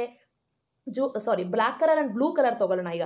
ಬ್ಲ್ಯಾಕ್ ಆ್ಯಂಡ್ ಬ್ಲೂ ತಗೊಳ್ಳೋಣ okay black colour eyeball and blue colour ಐಬಾಲನ್ನು ಇವಾಗ ನಾವು ಎಕ್ಸಾಂಪಲ್ ಆಗಿ ತೊಗೊಂಡಾದರೆ ಇಲ್ಲಿ ಬ್ಲ್ಯಾಕ್ ಕಲರ್ ಯೂಶಲಿ ನಾವು ಎಲ್ಲ ಜನರಲ್ಲೂ ನೋಡುವಂಥ ಕಾಮನ್ ಟ್ರೇಟ್ ಸೊ ಇದಕ್ಕೆ ಅದರಿಂದ ಏನಾಗುತ್ತೆ? ಈ ಬ್ಲ್ಯಾಕ್ ಕಲರ್ ಅನ್ನೋದು ಡಾಮಿನೆಂಟ್ ಈ ಬ್ರೌನ್ ಸಾರಿ ಬ್ಲೂ ತೊಗೊಳ್ತಾ ಇದ್ದೀನಿ ಅಲ್ವಾ ನಾನಿಲ್ಲಿ? ಸೊ ಬ್ಲೂ ಅನ್ನೋದು ಏನಾಗುತ್ತೆ? ರಿಸೆಸಿವ್ ನಾವು ಎಲ್ಲ ಜನರಲ್ಲೂ ಸಾಮಾನ್ಯವಾಗಿ ಬ್ಲೂ ಕಲರ್ ಐಬಾಲನ್ನು ನೋಡಲ್ಲ. ಅಂಡರ್ಸ್ಟ್ಯಾಂಡ್ ಸೊ ಅದರಿಂದ ಏನಾಗುತ್ತೆ? Blue colour eyeball is the recessive ಅದು ಡಾಮಿನೇಟ್ ಟ್ರೇಟಿಂದ ಡಾಮಿನೇಟ್ ಆಗ್ತಾ ಇದೆ. ಓಕೆ ಸೊ ಈ ಕಾನ್ಸೆಪ್ಟ್ ಎಲ್ಲ ಅರ್ಥ ಆಗ್ತಿದ್ರೆ ಎಸ್ ಅಂತ ಕಾಮೆಂಟ್ ಬಾಕ್ಸ್ನಲ್ಲಿ ಡ್ರಾಪ್ ಮಾಡಿ, ನೋಡಿ ಇಲ್ಲೂ ಕೂಡ ನಾನು ಎಕ್ಸಾಂಪಲ್ ಕೊಟ್ಟಿದ್ದೀನಿ. ನಿಮಗೆ ಡಾಮಿನೆಂಟ್ ರೇಟ್ ಆ್ಯಂಡ್ ರಿಸೆಸಿವ್ ಟ್ರೇಟ್ಗೆ ನೋಡಿ ಡಾಮಿನೆಂಟ್ ರೇಟ್ ರಿಸೆಸಿವ್ ಟ್ರೇಟ್ ಈಗ ತಾನೇ ನಾನು ಎಕ್ಸ್ಪ್ಲೇನ್ ಮಾಡಿದೆ ಅಲ್ವಾ? ಯೂಶಲಿ ನಾವು ಈಗ brown colour eyeball and blue colour eyeball ತೊಗೊಂಡ್ರೂ ಕೂಡ ಏನಾಗುತ್ತೆ? ಬ್ರೌನ್ ಅನ್ನೋದು ಡಾಮಿನೆಂಟ್ ಆಗುತ್ತೆ ಬ್ಲೂ ಅನ್ನೋದು ರಿಸೆಸಿವ್ ಆಗುತ್ತೆ. ಯಾಕೆ ಅಂದರೆ ಬ್ರೌನ್ ಅನ್ನೋದನ್ನ ಯೂಶಲಿ ನಾವು ಮೋಸ್ಟ್ ಆಫ್ ದ ಪೀಪಲ್ನಲ್ಲಿ ನೋಡ್ಬೋದು ಬ್ಲೂ ಅನ್ನೋದು ನಾವು ಹೆಚ್ಚಾಗಿ ನೋಡೋಕ್ಕೆ ಆಗಲ್ಲ. So this is all about a dominant trait and recessive trait okay, i hope you have understood. Okay, so a recessive trait that appears only if the offspring inherits a copy of gene from both the parents. ಏನು ಹಾಗಂದ್ರೆ, ಈಗ father and mother ಇಬ್ಬರಿಂದನೂ ಕೂಡ blue colour eyeball ಏನಾಗ್ತಾ ಇದೆ? Coding ಈ blue colour ಐಡ್ವಾಲ್ ಏನಾಗ್ತಾ ಇದೆ? Gene coding carry ಮಾಡ್ತಾ ಇದೆ ಅಂದರೆ ಹುಟ್ಟುವಂಥ ಆಫ್ಸ್ಪ್ರಿಂಗ್ನಲ್ಲೂ ಕೂಡ ಏನಾಗ್ತಾ ಇದೆ? ಬ್ಲೂ ಕಲರ್ ಐಬಾಲೇ ಇರುತ್ತೆ. ಫಾದರ್ ಆ್ಯಂಡ್ ಮದರ್ ಇಬ್ಬರಲ್ಲೂ ಕೂಡ ಏನಾಗ್ತಾ ಇದೆ? ಈ ಒಂದು ಟ್ರೇಟ್ ಇನ್ಹೆರಿಟ್ ಆದರೆ ಕ್ಯಾರಿ ಆದರೆ ರಿಪ್ರೊಡಕ್ಷನ್ ಆಗುವಾಗ ಆಗ ಆಫ್ಸ್ಪ್ರಿಂಗ್ನಲ್ಲೂ ನಾವು ಈ ಟ್ರೇಟನ್ನು ನೋಡಬಹುದು. Yes let us go for next concept what happens to chromosome number during reproduction ಅಂತ ಕೇಳ್ತಾ ಇದ್ದಾರೆ ನೋಡಿ, ತುಂಬ ಕಾನ್ಸೆಪ್ಟ್ ಇದೆ ಇದರಲ್ಲಿ. ಅದರಲ್ಲಿ ತುಂಬ ನಾನು ಏನು ಪ್ರಿಸೈಸ್ ಮಾಡಿ ನಿಮಗೆ ಯಾವ ರೀತಿ ಈಸಿಯಾಗಿ ಅರ್ಥ ಮಾಡಿಸ್ಬೋದು ಆ ರೀತಿ ನಾನು ಎಕ್ಸ್ಪ್ಲೇನ್ ಮಾಡ್ತಾ ಹೋಗ್ತಾ ಇದ್ದೀನಿ. Okay what happens to chromosome number during reproduction ಅಂತ ಇದೆ. ನೋಡಿ new organisms are born by sexual reproduction in humans ಅದು ನಿಮಗೆ ಗೊತ್ತಿರಬೇಕು. ಓಕೆ ಯಾವುದೇ ಒಂದು ಆರ್ಗ್ಯಾನಿಸಮ್ ಹೊಸದಾಗಿ ಅದು ಜನ್ಮನ ಪಡ್ಕೊಳ್ತಾ ಇದೆ. ಸೊ ಬರ್ತ್ನ ಪಡ್ಕೊಳ್ತಾ ಇದೆ ಅಂದರೆ that will happen because of the sexual reproduction especially in the humans normally ಏನಾಗುತ್ತೆ? All the cells in the body are diploid all the cells in the body are diploid diploid ಅಂದರೆ ಏನು ಅಂತ ನಾನು ನಿಮಗೆ ಹೇಳ್ತೀನಿ. ಆಯಿತಾ? ಸೊ ಎಲ್ಲ ಕೂಡ ಡೈಪ್ಲಾಯ್ಡ್ ಆಗಿರುತ್ತೆ. ಕ್ರೋಮೋಸೋಮ್ಸ್ ಏನಾಗಿರುತ್ತೆ? ಪೇರಲ್ಲಿ ಎಕ್ಸಿಸ್ಟ್ ಆಗಿರುತ್ತೆ. ಪೇರ್ ಅಂದರೆ ಏನು? ಜೊತೆ ಜೊತೆಯಾಗಿರುತ್ತೆ. ಓಕೆ ಹ್ಯೂಮನ್ ಬಾಡಿನಲ್ಲಿ ಏನಾಗಿರುತ್ತೆ? ಟೋಟಲಿ ಫಾರ್ಟಿ ಸಿಕ್ಸ್ ಕ್ರೋಮೋಸೋಮ್ಸ್ ಇರುತ್ತೆ ಒಂದೊಂದು ಸೆಲ್ಸಲ್ಲಿ ಫಾರ್ಟಿ ಸಿಕ್ಸ್ ಕ್ರೋಮೋಸೋಮ್ಸ್ ಅಂದರೆ twenty three pairs of chromosomes ಅಂತ ನಾವು ಹೇಳ್ತೀವಿ. ಹ್ಯೂಮನ್ ಬಾಡಿನಲ್ಲಿ ಏನಾಗಿರುತ್ತೆ? ಸೆಲ್ಸಲ್ಲಿ ಫಾರ್ಟಿ ಸಿಕ್ಸ್ ಕ್ರೋಮೋಸೋಮ್ಸ್ ಇರುತ್ತೆ. Okay so during reproduction reproduction ಆಗಬೇಕಾದ್ರೆ ಏನಾಗುತ್ತೆ? During reproduction male and female sex combine to form the zygote ಇದು ನಿಮಗೆ ಗೊತ್ತಿದೆ ಅಲ್ಲ ಹೌ ಡು ಆರ್ಗನಿಸಮ್ಸ್ ರಿಪ್ರೊಡ್ಯೂಸ್ ಅನ್ನೋ ಲೆಸನಲ್ಲಿ ನೀವು ಕಲ್ತ್ಕೊಂಡಿದ್ದೀರಾ. ಸೊ ಮೇಲಿಂದ ಬಂದಂಥ ಒಂದು ಗ್ಯಾಮೆಟ್ ಮೇಲಿಂದ ಬಂದಂಥ ಒಂದು ಗ್ಯಾಮೆಟ್ ಫಿಮೇಲಿಂದ ಬಂದಂಥ ಒಂದು ಗ್ಯಾಮೆಟ್ ಏನಾಗುತ್ತೆ? ಫ್ಯೂಸ್ ಆಗುತ್ತೆ. ಎರಡೂ ಕೂಡ ಫ್ಯೂಸ್ ಅಂದರೆ ಕಂಬೈನ್ ಅಂತ ಅರ್ಥ. ಸೊ ಫ್ಯೂಸ್ ಆಗಿ ಏನಾಗುತ್ತೆ? ಒಂದು ಝೈಗೋಟ್ ಝೈಗೋಟ್ ಅಂದರೆ ಏನು? ಸಿಂಗಲ್ ಸೆಲ್ಡ್ ಆರ್ಗ್ಯಾನಿಸಮ್ ಅಂತ ಹೇಳ್ತೀವಿ. ಝೈಗೋಟ್ ಅಂದರೆ ಒಂದು ಸಿಂಗಲ್ ಸೆಲ್ಡ್ ಆರ್ಗ್ಯಾನಿಸಮ್ ಫಾರ್ಮ್ ಆಗುತ್ತೆ. ಓಕೆನಾ ಸೊ ಯಾವಾಗ ಆಗುತ್ತೆ ಇದು? During the reproduction so these male and female sex all are haploid ನಾನು ಏನು ಹೇಳಿದೆ? ನಮ್ಮ ಬಾಡಿನಲ್ಲಿರುವ ಎಲ್ಲ ಸೆಲ್ಸು ಕೂಡ ಏನಾಗಿದೆ? ನಮ್ಮ ಬಾಡಿನಲ್ಲಿರುವಂಥ ಎಲ್ಲ ಸೆಲ್ಸು ಕೂಡ ಡೈಪ್ಲಾಯ್ಡ್ ಆಗಿದೆ except the sex cells sex cells ಮಾತ್ರ ಹ್ಯಾಪ್ಲಾಯ್ಡ್ ಆಗಿದೆ. ಸೆಕ್ಸ್ ಸೆಲ್ಸ್ ಏನಾಗಿದೆ? ಹ್ಯಾಪ್ಲಾಯ್ಡ್ ಆಗಿದೆ. ಹ್ಯಾಪ್ಲಾಯ್ಡ್ ಅಂದರೆ half the number of chromosomes ಏನು ಹೇಳಿದೆ? ಡೈಪ್ಲಾಯ್ಡ್ ಅಂದರೆ ಏನಾಗಿರುತ್ತೆ? Twenty three pairs of chromosomes ಇರುತ್ತೆ. Twenty three pairs of chromosomes ಇರುತ್ತೆ. ಎಲ್ಲಿ? ನಮ್ಮ ಬಾಡಿನಲ್ಲಿರುವಂಥ ಎಲ್ಲ ಸೆಲ್ಸ್ನಲ್ಲೂ ಕೂಡ twenty three pairs of chromosomes ಇರುತ್ತೆ. ಆದರೆ ಸೆಕ್ಸ್ ಸೆಲ್ಸಲ್ಲಿ ಮಾತ್ರ half the number of chromosomes ಇರುತ್ತೆ. ಹಾಫ್ ಅಂದರೆ ನಾವು ಟ್ವೆಂಟಿ ತ್ರೀ ಅರ್ಥ ಆಯ್ತಾ? ಯಾಕೆ ಅಂದರೆ ಇದು ಹ್ಯಾಪ್ಲಾಯ್ಡ್ ಬೇರೆ ಸೆಲ್ಸ್ ಎಲ್ಲ ಡೈಪ್ಲಾಯ್ಡ್ ಆಗಿರುತ್ತೆ. ಸೆಕ್ಸ್ ಸೆಲ್ಸ್ ಅಂದರೆ ಸೆಕ್ಸ್ ಸೆಲ್ಸ್ ಮಾತ್ರ ಹ್ಯಾಪ್ಲಾಯ್ಡ್ ಆಗಿರುತ್ತೆ. ಅಂದರೆ half the number of chromosomes ಇರುತ್ತೆ. ಐ ಥಿಂಕ್ ನಿಮಗೆ ಈ ಕಾನ್ಸೆಪ್ಟ್ ಅರ್ಥ ಆಗ್ತಾ ಇದೆ ಅನ್ಕೋತೀನಿ. ಅರ್ಥ ಆಗ್ತಿದ್ರೆ ಎಸ್ ಅಂತ ಟೈಪ್ ಮಾಡಿ. Good morning to everyone those are joining to the class ನಾವು ಓಕೆ ಸೊ ಈಗ ಏನಾಗುತ್ತೆ ಅಂತಂದರೆ so half the number of chromosomes ಇದೆ ಅಂತ ಅರ್ಥ ಆಯ್ತಲ್ಲ? The specialised male sex cell called sperm okay it also has twenty three chromosomes okay ಅಂದರೆ half the number of chromosomes ಈ half the number of chromosomes ಅಲ್ಲಿ ಏನಾಗಿರುತ್ತೆ? Twenty two autosomes ಇರುತ್ತೆ. One sex chromosomes ಇರುತ್ತೆ. ಸ್ವಲ್ಪ ನಿಮಗೆ confuse ಆಗ್ತಾ ಇರುತ್ತೆ. ಎಲ್ಲ ಹೊಸ ಹೊಸ ಕಾನ್ಸೆಪ್ಟ್ ಹೇಳ್ತಾ ಇದ್ದೀನಿ ಅಂತ. ನೋಡಿ ಸಿಂಪಲ್ ಆಗಿ ಕ್ಲಾರಿಫೈ ಮಾಡೋಕ್ಕೆ ಟ್ರೈ ಮಾಡ್ತೀನಿ. ನಾನು ಏನು ಹೇಳ್ತಾ ಇದ್ದೀನಿ? ಸೆಕ್ಸ್ ಸೆಲ್ಸಲ್ಲಿ ಟ್ವೆಂಟಿ ತ್ರೀ ಕ್ರೋಮೋಸೋಮ್ಸ್ ಇರುತ್ತೆ ಅಂತ ಹೇಳ್ತಾ ಇದ್ದೀನಿ. So out of this twenty three chromosomes ಏನಾಗುತ್ತೆ? Twenty two autosomes one sex chromosomes ಇರುತ್ತೆ. ಆಟೋಸೋಮ್ಸ್ ಅಂದರೆ ಏನು? ಆಟೋಸೋಮ್ಸ್ ಅಂದರೆ ಯಾವ ಕ್ರೋಮೋಸೋಮ್ಸ್ ಸೆಕ್ಸನ್ನ ಕೋಡ್ ಮಾಡಲ್ಲ, ಅದು ಆಟೋಸೋಮ್ಸ್ ಫಾರ್ ಎಕ್ಸಾಂಪಲ್ ಈಗ ಸೆಕ್ಸನ್ನ ಕೋಡ್ ಮಾಡೋದು ಬಂದು X chromosome and Y chromosomes ಅಂದರೆ ಹುಟ್ಟೋ ಮಗು ಗರ್ಲ ಬಾಯ್ ಅಂತ ಕೋಡ್ ಮಾಡೋದು ಈ ಒನ್ ಕ್ರೋಮೋಸೋಮ್ ಯಾವುದಿರುತ್ತೆ? ಎಕ್ಸ್ ಆದ್ರು ಎಕ್ಸ್ ಆದರೂ ಆಗಿರ್ಬೋದು ವೈ ಆದರೂ ಆಗಿರ್ಬೋದು. ಓಕೆ ಮೇಲ್ ಬಗ್ಗೆ ಮಾತಾಡ್ತಾ ಇದ್ದೀನಲ್ವಾ ಸೊ ಈಗ ಮೇಲ್ ಅಂತ ತಗೊಂಡಾಗ ಮೇಲಲ್ಲಿ ಏನಿರುತ್ತೆ? ಎಕ್ಸ್ ಆ್ಯಂಡ್ ವೈ ಇರುತ್ತೆ. ಈ ಒನ್ ಕ್ರೋಮೋಸೋಮ್ ಐದರ್ ಎಕ್ಸ್ ಆಗಿರುತ್ತೆ ಅಥವಾ ವೈ ಆಗಿರುತ್ತೆ. ಬಟ್ ಈ ಟ್ವೆಂಟಿ ಟಿ ಕ್ರೋಮೋಸೋಮ್ ಏನಾಗಿರುತ್ತೆ? ಈ ಟ್ವೆಂಟಿ ಟು ಕ್ರೋಮೋಸೋಮ್ಸ್ ಬಂದು ಇದು ಆಟೋಸೋಮ್ಸ್ ಆಟೋಸೋಮ್ಸ್ ಅಂದರೆ ಏನು? It is the chromosome which will be coding the characters other than the sex chromosome ಅಂದರೆ ನಿಮ್ಮ ಬಾಡಿನಲ್ಲಿ ಐ ಕಲರ್ ಹೀಗಿರಬೇಕು ನಿಮ್ಮ ಬಾಡಿ ಕಲರ್ ಹೀಗಿರಬೇಕು, ನಿಮ್ಮ ಹೇರ್ ಟೆಕ್ಸ್ಚರ್ ಹೀಗಿರಬೇಕು, ನಿಮ್ಮ ನೋಸ್ ಹೀಗಿರಬೇಕು, ನಿಮ್ಮ ಐಬಾಲ್ ಕಲರ್ ಹೀಗಿರಬೇಕು, ನಿಮ್ಮ ಫೂಟ್ ಹೀಗಿರಬೇಕು, ಈ ರೀತಿ ಎಲ್ಲ ಒಂದು ಟ್ರೇಟ್ಸನ್ನು ನಿಮ್ಮ ಬಾಡಿನಲ್ಲಿ ಕೋಡ್ ಮಾಡುವಂಥ ಒಂದು ಕ್ರೋಮೋಸೋಮನ್ನು we will call it as autosome autosome ಅಂತ ಹೇಳ್ತೀವಿ ಓಕೆ ಸೊ ಈಗ ಸೆಕ್ಸ್ ಸೆಲ್ಲಲ್ಲಿ ನಾನು ಏನು ಹೇಳಿದೆ? Sex cell are haploid haploid ಆಗಿರುತ್ತೆ ಸೆಕ್ಸ್ ಸೆಲ್ ಏನಾಗಿರುತ್ತೆ ಹ್ಯಾಪ್ಲಾಯ್ಡ್ ಆಗಿರುತ್ತೆ. ಹ್ಯಾಪ್ಲಾಯ್ಡ್ ಅಂದರೆ half the number of chromosome ಈ ಹಾಫ್ ದ ನಂಬರ್ ಆಫ್ ಕ್ರೋಮೋಸೋಮಲ್ಲಿ ಏನಾಗಿರುತ್ತೆ ಟ್ವೆಂಟಿ ಟು ಆಟೋಸೋಮ್ ಇರುತ್ತೆ, ಒಂದು ಸೆಕ್ಸ್ ಕ್ರೋಮೋಸೋಮ್ ಇರುತ್ತೆ it may be X or Y ಅರ್ಥ ಆಗ್ತಿದೆ ಅನ್ಕೋತೀನಿ? ಸೊ ಇದೇ ಫೀಮೇಲಲ್ಲಿ ಏನಾಗಿರುತ್ತೆ ಸೇಮ್ ಟ್ವೆಂಟಿ ಟು ಆಟೋಸೋಮ್ಸ್ ಇರುತ್ತೆ ಫೀಮೇಲಲ್ಲಿ ಎಕ್ಸ್ ಆ್ಯಂಡ್ ಎಕ್ಸ್ ಅನ್ನೋ ಕ್ರೋಮೋಸೋಮ್ ಇರುತ್ತೆ. because female have the perfect pair of chromosomes male have the mismatched pair of chromosomes ಅರ್ಥ ಆಗ್ತಿದ್ಯಾ ಸೊ ನೀವೇನು ತಿಳ್ಕೊಂಡ್ರಿ ಹೊಸ ಹೊಸ ವರ್ಡ್ಸ್ನ ಕ್ರೋಮೋಸೋಮ್ ಅಂದರೆ ಏನು ಅಂತ ತಿಳ್ಕೊಂಡ್ರಿ. ಆಟೋಸೋಮ್ಸ್ ಅಂದರೆ ಏನು ಅಂತ ಅರ್ಥ ಆಯಿತು. ಸೆಕ್ಸ್ ಕ್ರೋಮೋಸೋಮ್ಸ್ ಅಂದರೆ ಏನು ಅಂತ ಅರ್ಥ ಆಯಿತು. ಹ್ಯಾಪ್ಲಾಯ್ಡ್ ಅಂದರೆ ಏನು ಡೈಪ್ಲಾಯ್ಡ್ ಅಂದರೆ ಏನು ಅಂತ ಹೇಳ್ತೀನಿ. ಮತ್ತೊಂದು ಸತಿ ನಾನು ರಿಪೀಟ್ ಮಾಡ್ತೀನಿ. ಹ್ಯಾಪ್ಲಾಯ್ಡ್ ಅಂದರೆ half the number of chromosomes ಇರುತ್ತೆ. ಡೈಪ್ಲಾಯ್ಡ್ ಅಂದರೆ ಪೇರ್ ಎಲ್ಲ ಕ್ರೋಮೋಸೋಮ್ಸು ಪೇರ್ ಪೇರ್ ಆಗಿರುತ್ತೆ. ಆಯಿತಾ? Complete set of twenty three pairs of ಕ್ರೋಮೋಸೋಮ್ಸ್ನ ನಾವು ಏನು ಹೇಳ್ತೀವಿ? ಡೈಪ್ಲಾಯ್ಡ್ ಅಂತ ಹೇಳ್ತೀವಿ. ಟ್ವೆಂಟಿ ತ್ರೀ ಪೇರ್ಸ್ ಇದ್ದರೆ ಡೈಪ್ಲಾಯ್ಡ್ ಅಂತ ಹೇಳ್ತೀವಿ. ಓನ್ಲಿ ಟ್ವೆಂಟಿ ತ್ರೀ ಕ್ರೋಮೋಸೋಮ್ಸ್ ಇದ್ದರೆ ಹ್ಯಾಪ್ಲಾಯ್ಡ್ ಅಂತ ಹೇಳ್ತೀವಿ. ಸೊ ಇದಿಷ್ಟು ಕಾನ್ಸೆಪ್ಟ್ ನಿಮಗೆ ಅರ್ಥ ಆಗಿದ್ರೆ ಎಸ್ ಅಂತ ನೀವು ಕಮೆಂಟ್ ಕಮೆಂಟ್ ಬಾಕ್ಸ್ನಲ್ಲಿ ಡ್ರಾಪ್ ಮಾಡಿ. ಸೊ ನಾನು ನೆಕ್ಸ್ಟ್ ಕಾನ್ಸೆಪ್ಟನ್ನು ಎಕ್ಸ್ಪ್ಲೇನ್ ಮಾಡೋಕ್ಕೆ ಕಂಟಿನ್ಯೂ ಮಾಡ್ತೀನಿ. ಓಕೆ ಸೊ ನಿಮಗೆ ಇಷ್ಟು ಕಾನ್ಸೆಪ್ಟ್ ಅರ್ಥ ಆಯಿತು ಅನ್ಕೋತೀನಿ. ಎಸ್ ಈಗ ಡ್ಯೂರಿಂಗ್ ರಿಪ್ರೊಡಕ್ಷನ್ ಏನಾಗುತ್ತೆ ಅಂತ ಹೇಳ್ಬಿಡ್ತೀನಿ ನೆಕ್ಸ್ಟ್ ಕಾನ್ಸೆಪ್ಟ್ ಹೇಳೋಕ್ಕೂ ಮುಂಚೆ.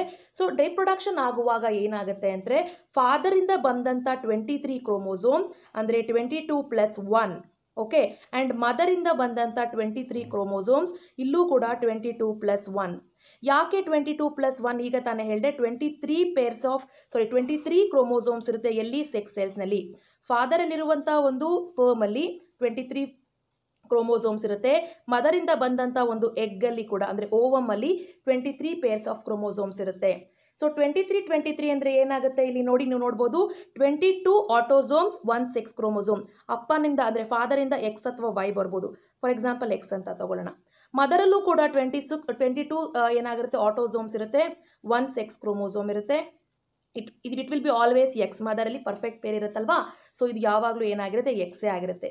ಸೊ ಏನಾಗುತ್ತೆ? During reproduction the sperms give twenty three chromosomes okay and also the ovum also give twenty three chromosomes ಎರಡೂ ಕೂಡ ಕಂಬೈನ್ ಆಗಿ ಏನಾಗುತ್ತೆ? ಟ್ವೆಂಟಿ ತ್ರೀ ಪೇರ್ನ ಮಾಡುತ್ತೆ.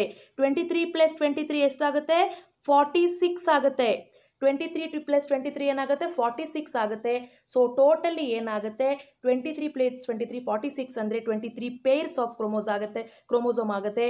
ಈ ಟ್ವೆಂಟಿ ತ್ರೀ ಪೇರ್ಸ್ ಆಫ್ ಕ್ರೋಮೋಸೋಮನ್ನೇ ನಾವು ಏನು ಹೇಳ್ತೀವಿ? We will call it as zygote zygote ಅಂದರೆ ಒಂದು ಸೆಲ್ ಫಾರ್ಮ್ ಆಗುತ್ತಲ್ವಾ? ಫಾದರಿಂದ ಬಂದಂಥ ಕ್ರೋಮೋಸೋಮ್ ಮದರಿಂದ ಬಂದಂಥ ಕ್ರೋಮೋಸೋಮ್ ಎರಡೂ ಕೂಡ ಕಂಬೈನ್ ಆಗಿ ಒಂದು ಸೆಲ್ ಫಾರ್ಮ್ ಆಗುತ್ತಲ್ವಾ? ಆ ಸೆಲ್ಲಲ್ಲಿ twenty three pairs of chromosome ಇರುತ್ತೆ. ಓಕೆ ವೆರಿ ಗುಡ್ ಮಾರ್ನಿಂಗ್ ಯಾರೆಲ್ಲ ಇವಾಗ ಜಾಯ್ನ್ ಆಗ್ತಾ ಇದ್ರ, ನಿಮಗೆಲ್ಲ ಅರ್ಥ ಆಗ್ತಾ ಇದೆ ಸೆಷನ್ ಅಂತ. ನಾನು ಐ ನಾನು ಐ ಆಮ್ ಫೀಲಿಂಗ್ ದ್ಯಾಟ್ ನಿಮಗೆಲ್ಲ ಈ ಸೆಷನ್ ಅರ್ಥ ಆಗ್ತಾ ಇದೆ ಅನ್ಕೋತೀನಿ. ಓಕೆ ಎಸ್ ಸೊ ಇದು ಆಗುತ್ತೆ. ಐ ಹೋಪ್ ನಿಮಗೆ ಅರ್ಥ ಆಯಿತು, ಏನಾಯಿತು ರಿಪ್ರೊಡಕ್ಷನ್ ಆಗಬೇಕಾದ್ರೆ ಫಾದರಿಂದ ಟ್ವೆಂಟಿ ತ್ರೀ ಕ್ರೋಮೋಸೋಮ್ಸ್ ಮದರಿಂದ ಟ್ವೆಂಟಿ ತ್ರೀ ಕ್ರೋಮೋಸೋಮ್ ಟುಗೆದರ್ ಏನಾಗುತ್ತೆ they will combine and it will form twenty three pairs of chromosome ಆ ಒಂದು ಟ್ವೆಂಟಿ ತ್ರೀ ಪೇರ್ ಆಫ್ ಕ್ರೋಮೋಸೋಮನ್ನು ನಾವು ಆಟೋಸೋಮ್ ಸಾರಿ ಝೈಗೋಟ್ ಅಂತ ಹೇಳ್ತೀವಿ. ನೆಕ್ಸ್ಟ್ ಆಟೋಸೋಮ್ಸ್ ಅಂದರೆ ಏನು? ಸೆಕ್ಸ್ ಕ್ರೋಮೋಸೋಮ್ಸ್ ಅಂದರೆ ಏನು? ನಾನು ನಿಮ್ಗೆ ನಮ್ಮ ಈಗಷ್ಟೇ ನಾನು ನಿಮಗೆ ಹೇಳ್ತಾ ಇದ್ದೆ ಆಟೋಸೋಮ್ಸ್ ಅಂದರೆ ಏನು ಅಂತ. ಆಟೋಸೋಮ್ಸ್ ಅಂದರೆ ಏನು? They are the chromosomes other than the sex chromosomes ಅಂದರೆ ಈಗ ಹುಟ್ಟುವಂಥ ಮಗು ಏನು? ಬಾಯ ಗರ್ಲ ಅಂತ ಕೋಡ್ ಮಾಡೋದು ಸೆಕ್ಸ್ ಕ್ರೋಮೋಸೋಮ್ ನಿಮ್ಮ ಬಾಡಿನಲ್ಲಿರುವ ಕ್ಯಾರೆಕ್ಟರ್ಸನ್ನು ಕೋಡ್ ಮಾಡೋದು ಆಟೋಸೋಮ್ಸ್ ಅರ್ಥ ಆಗ್ತಿದ್ಯಾ? ಸೊ ಪ್ರತಿಯೊಂದು ಏನಾಗುತ್ತೆ ಒಂದೊಂದು ಸೆಟ್ಟಲ್ಲಿ, ಈಗ chromosomes other than the sex chromosomes autosomes ಅಂತ ಹೇಳಲ್ವಾ they exist in a pairs ಯಾವಾಗಲೂ ಕೂಡ ಏನಾಗುತ್ತೆ ಆಟೋಸೋಮ್ಸು ಪೇರ್ಸಲ್ಲಿ ಇರುತ್ತೆ. Okay they control the somatic traits ಅಂತ ಹೇಳ್ತಾ ಇದ್ದೀನಿ ನಾನಿಲ್ಲಿ. ಸೊಮ್ಯಾಟಿಕ್ ಟ್ರೇಟ್ಸ್ ಅಂದರೆ ಏನು ಮ್ಯಾಮ್ ಸೊಮ್ಯಾಟಿಕ್ ಟ್ರೇಟ್ಸ್ ಅಂದರೆ traits other than the sex ಅಂದರೆ ನಿಮ್ಮ ಬಾಡಿನ ನನಗೆ ಆಗಲೇ ಹೇಳಿದ್ದೀನಿ ನಿಮಗೆ, ನಿಮ್ಮ ಬಾಡಿನಲ್ಲಿರುವ ಎಲ್ಲ traits eye colour hair colour body colour finger shape foot shape ಇದೆಲ್ಲ ಕೂಡ ಬೇರೆ traits other than the sex ಇದನ್ನು ನಾವು ಸೊಮ್ಯಾಟಿಕ್ ಟ್ರೇಟ್ ಅಂತ ಹೇಳ್ತೀವಿ. ಈ ಸೊಮ್ಯಾಟಿಕ್ ಟ್ರೇಟನ್ನು code ಮಾಡೋಂಥದ್ದು autosome autosome will code the somatic trait sex chromosome ಏನು ಕೋಡ್ ಮಾಡುತ್ತೆ? ಹುಟ್ಟು ಮಗು ಬಾಯ ಗರ್ಲಾ ಅಂತ ಹೇಳುತ್ತೆ. ಅರ್ಥ ಆಗ್ತಿದೆಯಾ? So this is all about autosome ಇನ್ನೊಂದ್ಸಲಿ ಹೇಳ್ತೀನಿ ನೋಡಿ ಸಿಂಪಲ್ ಆಗಿ. ಆಟೋಸೋಮ್ಸ್ ಅಂದರೆ ನಿಮ್ಮ ಬಾಡಿನಲ್ಲಿ ಸೆಕ್ಸನ್ನು ಬಿಟ್ಟು ಬೇರೆ ಎಲ್ಲ ಒಂದು ಕ್ಯಾರೆಕ್ಟರ್ಸನ್ನು ಕೋಡ್ ಮಾಡುವಂಥ ಒಂದು ಕ್ರೋಮೋಸೋಮ್ ಓಕೆ ಸೆಕ್ಸ್ ಕ್ರೋಮೋಸೋಮ್ಸ್ ಅಂದರೆ ಏನು? ಸೆಕ್ಸನ್ನು ಡಿಟರ್ಮೈನ್ ಮಾಡುವಂಥ ಕ್ರೋಮೋಸೋಮ್ ಸೊ ನಿಮ್ಮ ಬಾಡಿನಲ್ಲಿ ಏನಾಗುತ್ತೆ? ಪ್ರತಿ ಸೆಲ್ಲಲ್ಲೂ ನಾನು ಏನು ಹೇಳಿದೆ twenty three pairs of chromosomes ಇರುತ್ತೆ. ಎಲ್ಲಿ ಬಿಟ್ಟು? ಸೆಕ್ಸ್ ಸೆಲ್ಸಲ್ಲಿ ಬಿಟ್ಟು. ಸೆಕ್ಸ್ ಅಲ್ಲಿ ಬಿಟ್ಟು ಬೇರೆ ಎಲ್ಲ ಕಡೆ ಟ್ವೆಂಟಿ ತ್ರೀ ಪೇರ್ಸ್ ಇರುತ್ತೆ. ಆ ಟ್ವೆಂಟಿ ಟೂ ಆ ಟ್ವೆಂಟಿ ತ್ರೀ ಪೇರ್ಸಲ್ಲಿ ಏನಾಗುತ್ತೆ? ಟ್ವೆಂಟಿ ಟೂ ಪೇರ್ ಬಂದು ನಿಮಗೆ ಆಟೋಸೋಮ್ ಆಗಿರುತ್ತೆ. ಟ್ವೆಂಟಿ ಟೂ ಬಂದು ಏನಾಗುತ್ತೆ? ಆಟೋಸೋಮ್ ಆಗಿರುತ್ತೆ. ಅರ್ಥ ಆಗ್ತಿದ್ಯಾ? Yes let us go for next concept haploid diploid ಆಗ ತಾನೇ ನಾನು ನಿಮಗೆ ಹೇಳಿದೆ ಹ್ಯಾಪ್ಲಾಯ್ಡ್ ಡೈಪ್ಲಾಯ್ಡ್ ನಾನು ನಿಮಗೆ ಹೇಳ್ತೀನಿ ಅಂತ. ನೋಡಿ ಹ್ಯಾಪ್ಲಾಯ್ಡ್ ಅಂದರೆ ಏನು? ಡೈಪ್ಲಾಯ್ಡ್ ಅಂದರೆ ಏನು? Haploid cell with two haploid ಅಂದರೆ it is a cell with two complete set of chromosome ಅಂದರೆ ಇವಾಗ ಒಂದು ಸೆಟ್ ಒಂದು ಕ್ರೋಮೋಸೋಮಲ್ಲಿ ಏನಾಗಿರುತ್ತೆ ಕಂಪ್ಲೀಟ್ ಸೆಟ್ ಇದ್ದರೆ ಒಂದು ಸೆಕೆಂಡ್ ಸೊ ಕ್ರೋಮೋಸೋಮನ್ನ ನೋಡಬೇಕಾದ್ರೆ ಫಾರ್ ಎಕ್ಸಾಂಪಲ್ ಈಗ ನೋಡಿ ಡೈಪ್ಲಾಯ್ಡ್ ಅಂದರೆ ಏನಾಗಿರುತ್ತೆ ಕ್ರೋಮೋಸೋಮ್ ಏನಾಗಿರುತ್ತೆ, ಇಲ್ಲಿ ಪೇರ್ ಆಗಿರುತ್ತೆ. ಅರ್ಥ ಆಗ್ತಿದೆಯಾ? Cell with two complete set of chromosome cell with two complete set of chromosome we will call it as diploid ಇದನ್ನ ಡೈಪ್ಲಾಯ್ಡ್ ಅಂತ ಹೇಳ್ತೀವಿ. ಹ್ಯಾಪ್ಲಾಯ್ಡ್ ಅಂದರೆ ಏನು? ಒಂದು ಸೆಲ್ಲಲ್ಲಿ ಏನಾಗಿರುತ್ತೆ, ಒಂದೇ ಒಂದು ಏನು ಸೆಟ್ ಆಫ್ ಕ್ರೋಮೋಸೋಮ್ ಇರುತ್ತೆ ಸಿಂಗಲ್ ಸೆಟ್ ಆಫ್ ಕ್ರೋಮೋಸೋಮ್ ಇರುತ್ತೆ. ಅದನ್ನು ನಾವು ಹ್ಯಾಪ್ಲಾಯ್ಡ್ ಅಂತ ಹೇಳ್ತೀವಿ. ಏನಾಗಿರುತ್ತೆ? ಟೂ ಕಂಪ್ಲೀಟ್ ಸೆಟ್ ಇದ್ದರೆ ಟೂ ಕಂಪ್ಲೀಟ್ ಸೆಟ್ ಇದ್ದರೆ ಡೈಪ್ಲಾಯ್ಡ್ ಅಂತ ಹೇಳ್ತೀವಿ. ಒಂದೇ ಸೆಟ್ ಇದ್ದರೆ ಅದನ್ನು ನಾವು ಏನು ಹೇಳ್ತೀವಿ? ಹ್ಯಾಪ್ಲಾಯ್ಡ್ ಅಂತ ಹೇಳ್ತೀವಿ. This is all about haploid and diploid ನೀವು ಬೇಕು ಅಂದರೆ ಎರಿಡಿಟಿ ಆ್ಯಂಡ್ ಎವಲ್ಯೂಷನ್ ಲೆಸನನ್ನು ನಾನು ಡಿಟೇಲ್ ಆಗಿ ಎಕ್ಸ್ಪ್ಲೇನ್ ಮಾಡಿದ್ದೀನಿ ನಿಮಗೆ ಈ ಕಾನ್ಸೆಪ್ಟ್ ಇನ್ನೂ ಡೆಪ್ತಾಗಿ ಅರ್ಥ ಮಾಡ್ಕೊಳ್ಬೇಕು ಅಂದರೆ ದಯವಿಟ್ಟು ಪ್ಲೇಲಿಸ್ಟಲ್ಲಿ ಹೆರಿಡಿಟಿ ಆ್ಯಂಡ್ ಎವಲ್ಯೂಷನ್ ಓಪನ್ ಮಾಡಿ ನೋಡಿ. ಎಕ್ಸಾಮಿನೇಷನ್ ಪಾಯಿಂಟ್ ಆಫ್ ವ್ಯೂನಲ್ಲಿ ನಿಮಗೆ ಎಲ್ಲ ಕಾನ್ಸೆಪ್ಟ್ನ ನಾನು ಬ್ರಷ್ ಅಪ್ ಮಾಡ್ತಾ ಇದ್ದೀನಿ. ಓಕೆನಾ ಸೊ ಹ್ಯಾಪ್ಲಾಯ್ಡ್ ಅಂದರೆ ಮತ್ತೊಂದ್ಸಲಿ ಹೇಳ್ತೀನಿ. ಹ್ಯಾಪ್ಲಾಯ್ಡ್ ಅಂದರೆ the cell will be having only single set of chromosome diploid ಅಂದರೆ ಏನಾಗಿರುತ್ತೆ cell with with will be having two complete set of chromosome ಇದನ್ನು ನಾವು ಡೈಪ್ಲಾಯ್ಡ್ ಅಂತ ಹೇಳ್ತೀವಿ. ಎಸ್ ನೆಕ್ಸ್ಟ್ ಈಗ ಹೋಮೋಲಾಗಸ್ ಆ್ಯಂಡ್ ಹೆಟಿರೋಲಾಗಸ್ ಕ್ರೋಮೋಸೋಮ್ಸ್ ಅಂತ ಇದೆ. ಹೋಮೋಲಾಗಸ್ ಕ್ರೋಮೋಸೋಮ್ಸ್ ಅಂದರೆ ಏನು? See it is a set of one maternal chromosome and one paternal chromosome that pair up each other inside the cell. So ಒಂದು set of paternal chromosome ಹಾಗೂ maternal chromosome ಅಂದರೆ ಒಂದು set chromosome ಏನಾಗುತ್ತೆ? ಫಾದರಿಂದ ಬಂದಿರುತ್ತೆ. ಒಂದು set of chromosome ಏನಾಗುತ್ತೆ? ಮದರಿಂದ ಬರುತ್ತೆ. For example ನೋಡಿ ಫಾದರಿಂದ ಒಂದು ಸೆಟ್ ಆಫ್ ಕ್ರೋಮೋಸೋಮ್ ಮದರಿಂದ ಒಂದು ಸೆಟ್ ಆಫ್ ಕ್ರೋಮೋಸೋಮ್ ಬರುತ್ತೆ. ಓಕೆನಾ ಸೊ ಇದನ್ನು ನಾವು ಏನು ಹೇಳ್ತೀವಿ? ಹೋಮೋಲಾಗಸ್ ಕ್ರೋಮೋಸೋಮ್ ಅಂತ ಹೇಳ್ತೀವಿ. ಇದರ ಕ್ಯಾರೆಕ್ಟರ್ ಏನು? ಹೋಮೋಲಾಗಸ್ ಕ್ರೋಮೋಸೋಮ್ನ ಕ್ಯಾರೆಕ್ಟರ್ ಏನು ಅಂತಂದರೆ, ಇದು ಸೇಮ್ ಶೇಪ್ ಇರುತ್ತೆ ಸೇಮ್ ಸೈಜ್ ಇರುತ್ತೆ. ಶೇಪ್ ಸೇಮ್ ಇರುತ್ತೆ ಸೇಪ್ ಹಾಗೂ ಸೈಜು ಕೂಡ ಸೇಮ್ ಇರುತ್ತೆ. ಹಾಗೂ ಇಟ್ ಬೇರ್ಸ್ ದ ಏನು ಏನು corresponding genes govern the same traits corresponding genes govern the same traits ಅಂದರೆ ಏನು? ಫಾರ್ ಎಕ್ಸಾಂಪಲ್ ಇದು ಫಾದರಿಂದ ಬಂದಂಥ ಕ್ರೋಮೋಸೋಮ್ ಇದು ಮದರಿಂದ ಬಂದಂಥ ಕ್ರೋಮೋಸೋಮ್ ನೋಡಿ ಫಾದರಿಂದ ಬಂದಂಥ ಕ್ರೋಮೋಸೋಮ್ ಇಲ್ಲಿ ಏನು ಮಾಡ್ತಾ ಇದೆ? ಇಲ್ಲಿ ಜೀನ್ಸ್ ಇದೆ, ಇಲ್ಲೂ ಕೂಡ ಜೀನ್ಸ್ ಇದೆ. ಈ ಕಂಪ್ಲೀಟ್ ಏನಾಗಿರುತ್ತೆ? ಸೆಟ್ ಮೇಲೆ ಜೀನ್ಸ್ ಇರುತ್ತೆ. ಓಕೆ ಸೊ ಇಲ್ಲಿ ಏನಾಗುತ್ತೆ? ಫಾದರಿಂದ ಬಂದಂಥ ಈ ಒಂದು ಕಂಪ್ಲೀಟ್ ಸೆಟ್ ಆಫ್ ಕ್ರೋಮೋಸೋಮ್ ಇದು ಐ ಕಲರ್ನ ಕೋಡ್ ಮಾಡ್ತಾ ಇದೆ ಅಂದರೆ ಮದರಿಂದ ಬಂದಂಥ ಈ ಕಂಪ್ಲೀಟ್ ಸೆಟ್ ಆಫ್ ಕ್ರೋಮೋಸೋಮಲ್ಲಿ ಈ ಪಾರ್ಟ್ ಇದು ಕೂಡ ಏನು ಮಾಡಬೇಕು? ಐ ಕಲರ್ನ ಕೋಡ್ ಮಾಡಬೇಕು.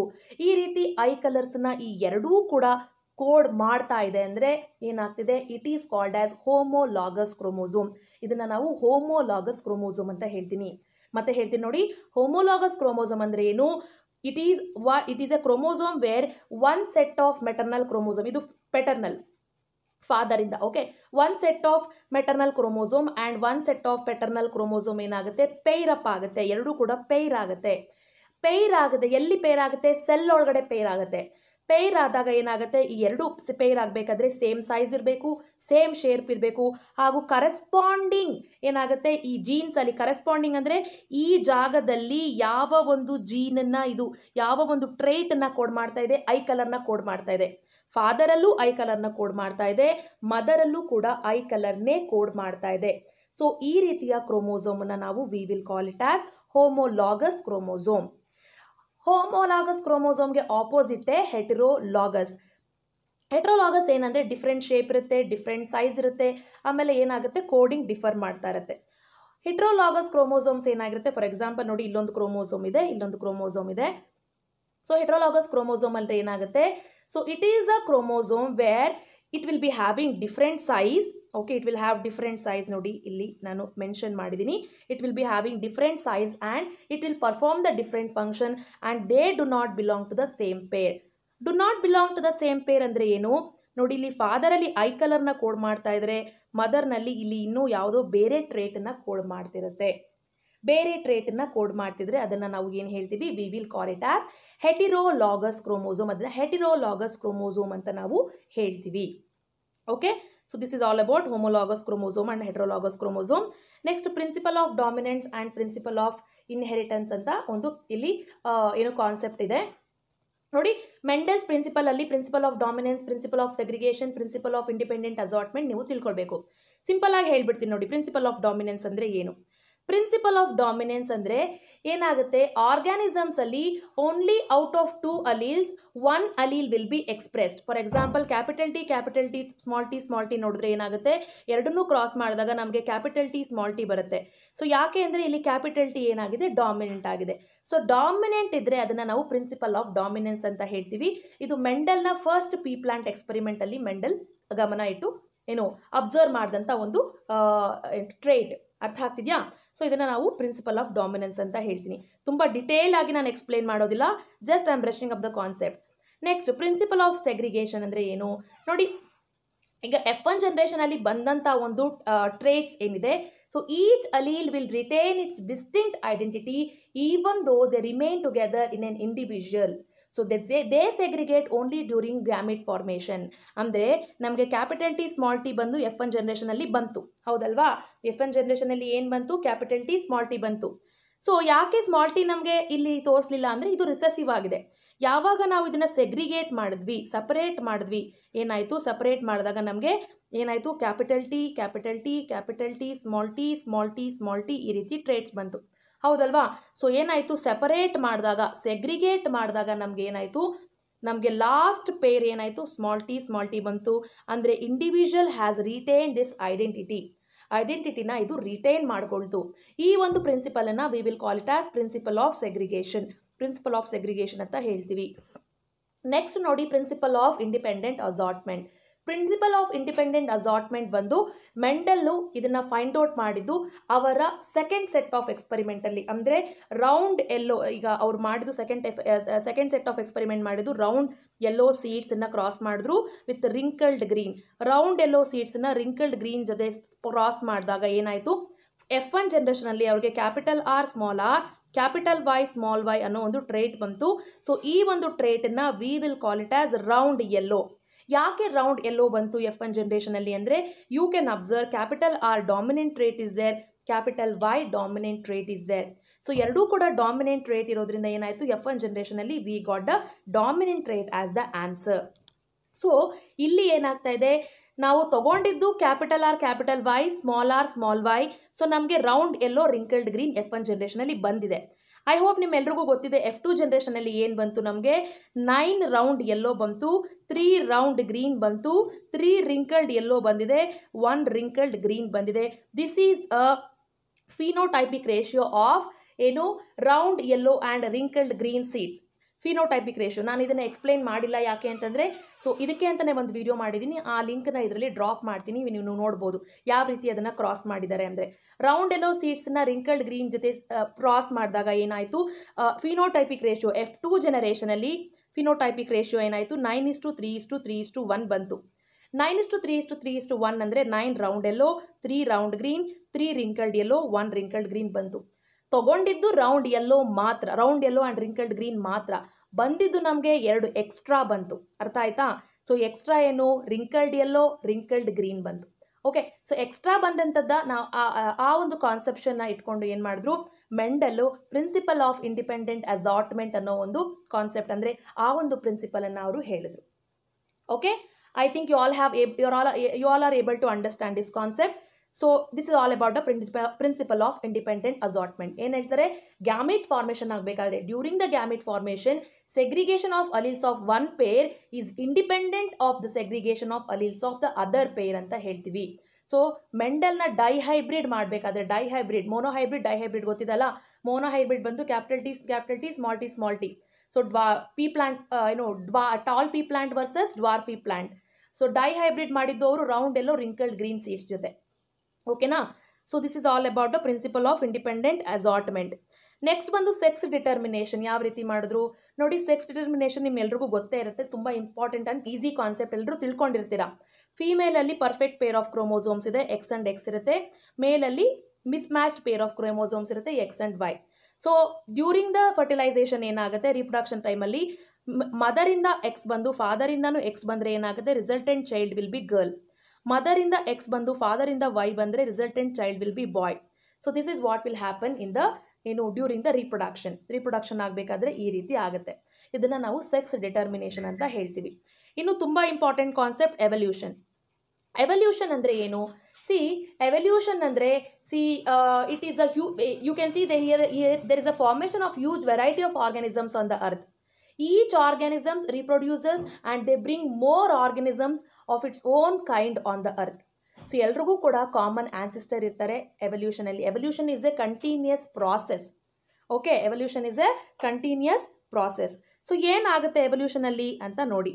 So what is a variation during reproduction I think ಈ ಒಂದು ಕಾನ್ಸೆಪ್ಟ್ ಮತ್ತೆ ರಿಪೀಟ್ ಮಾಡುವಂಥ ಅಗತ್ಯ ಇಲ್ಲ ಅನ್ಕೋತೀನಿ. ಸೊ ಯಾಕೆಂದರೆ ಈಗ ತಾನೇ ನಾನು ನಿಮಗೆ ಹೇಳಿದೆ. ಸೊ ಒಂದ್ಸಲಿ ಬ್ರಷ್ ಅಪ್ ಮಾಡಬೇಕು ಅಂದ್ರೆ ಏನು? ನಾನೀಗ ಮತ್ತೆ ಹೇಳ್ತಾ ಇದ್ದೀನಿ ನೋಡಿ. ಟ್ವೆಂಟಿ ಟು ಆಟೋಝೋಮ್ಸ್ ಏನಿದೆ ಫಾದರ್ನಲ್ಲಿ along with the ones X chromosome that will become twenty three chromosomes okay and twenty two autosomes from the mother and ones X chromosomes from the mother again this is also twenty three chromosomes ಏನಾಗುತ್ತೆ? Autosomes autosomes plus X ಇಲ್ಲಿ if it is mother okay so let us consider it as a father autosomes plus Y ತಗೊಳ್ಳೋಣ. Okay autosomes plus Y ತಗೊಳ್ಳೋಣ ಓಕೆನಾ so ಏನಾಗುತ್ತೆ? ಎರಡೂ ಕೂಡ ಪೇರಪ್ ಆಗುತ್ತೆ. Pair up ಆಗಿ ಏನಾಗುತ್ತೆ? Forty six number of chromosomes ಆಗುತ್ತೆ. Both the paternal chromosome and the maternal chromosome so paternal chromosome maternal chromosome ಏನಾಗುತ್ತೆ? ಎರಡೂ ಕೂಡ ಕಂಬೈನ್ ಆಗಿ it will result in to form one single cell organism that is called as zygote. And this will be depending completely on the type of chromosome that will be inherited by the father. ಫಾದರಿಂದ ಯಾವ type of chromosome ಬರುತ್ತೆ, ಅದ್ರ ಮೇಲೆ ಏನಾಗುತ್ತೆ variation ಏನಿರುತ್ತೆ ಅದು depend ಆಗುತ್ತೆ. So even ಎಲ್ಲ ಕ್ಯಾರೆಕ್ಟರ್ಸ್ಟು ಸೊಮ್ಯಾಟಿಕ್ ಕ್ಯಾರೆಕ್ಟರ್ಸ್ ಯಾವುದೇ ಆಗಿರ್ಬೋದು, ಯಾವುದೇ ಒಂದು ಸೊಮ್ಯಾಟಿಕ್ ಕ್ಯಾರೆಕ್ಟರ್ಸ್ ಸೊಮ್ಯಾಟಿಕ್ ಕ್ಯಾರೆಕ್ಟರ್ಸ್ ಅಂದರೆ ಏನು? I am going to repeat once again ನೋಡಿ. ಸೊಮ್ಯಾಟಿಕ್ ಕ್ಯಾರೆಕ್ಟರ್ಸ್ ಅಂದರೆ characters other than the sex characters ಅಂದರೆ ಸೆಕ್ಸ್ ಕ್ಯಾರೆಕ್ಟರ್ ಅಂದರೆ it may be X chromosome or Y chromosome other than that ಯಾವುದೆಲ್ಲ characters ನಿಮ್ಮ ಬಾಡಿನಲ್ಲಿ ಇದೆ? High colour hair colour body colour shape of the any organ the any parts of your body okay all these characters we call it as somatic characters and they are present in the somatic cells ಅರ್ಥ ಆಯ್ತಾ? So ಇದನ್ನ, ಇದರಲ್ಲೆಲ್ಲ ಕೂಡ ನಾವು variation ನಾವು ಯಾವಾಗ ನೋಡ್ಬೋದು? During reproduction ನಾವು ನೋಡ್ಬೋದು. Okay so what is evolution ಅನ್ನೋದಕ್ಕೆ ನಾನು ನಿಮಗೆ ಹೇಳ್ತಾ ಇದ್ದೀನಿ ವಾಟ್ ಈಸ್ ಡೆಫಿನೇಷನ್ ಎಕ್ಸಾಮಲ್ಲಿ ಕೇಳ್ತಾರೆ. Change in the inherited characteristics of a biological population over a successive generation is called as evolution ಅಂದರೆ ಈಗ ಒಂದು ಪ್ರಿಮಿಟಿವ್ ಆರ್ಗ್ಯಾನಿಸಮ್ ಏನು ಫಾರ್ಮ್ ಆಯಿತು ಅರ್ತ್ ಮೇಲೆ? ಈ primitive organism it may be micro organism ಈ ಒಂದು ಮೈಕ್ರೋ ಆರ್ಗ್ಯಾನಿಸಮ್ ಏನಾಗುತ್ತೆ? Over a period of time ಒಂದು ಮ್ಯಾಕ್ರೋ ಆರ್ಗ್ಯಾನಿಸಮ್ ಆಗುತ್ತೆ. Macro organism will be multicellular organisms ಅಂತ ನೀವು ತಿಳ್ಕೊಳ್ಳಿ. ಸೊ ಈ ಪ್ರಿಮಿಟಿವ್ ಆರ್ಗ್ಯಾನಿಸಮ್ ಇದ್ದಂಥ ಒಂದು ಏನು ಕ್ಯಾರೆಕ್ಟರ್ಸ್ ಈ ಮ್ಯಾಕ್ರೋ ಆರ್ಗ್ಯಾನಿಸಮ್ಸ್ ಇಲ್ಲಿ ಏನಾಗುತ್ತೆ? ಕಂಪ್ಲೀಟ್ ಆಗಿ ವೇರಿ ಆಗಿಬಿಡುತ್ತೆ. Okay and this will happen over a period of time ಈ ಒಂದು ಚೇಂಜಸ್ಸನ್ನು ನಾವು ಎವಲ್ಯೂಷನ್ ಅಂತ ಹೇಳ್ತೀವಿ. ಎವಲ್ಯೂಷನಲ್ಲಿ ನಾವು ಈ ಒಂದು ಚೇಂಜಸನ್ನು ನೋಡ್ಬೋದು. ವೇರಿಯೇಷನ್ಸನ್ನು ನೋಡ್ಬೋದು. Okay change in the inherited characters of a biological population ಯಾವಾಗ?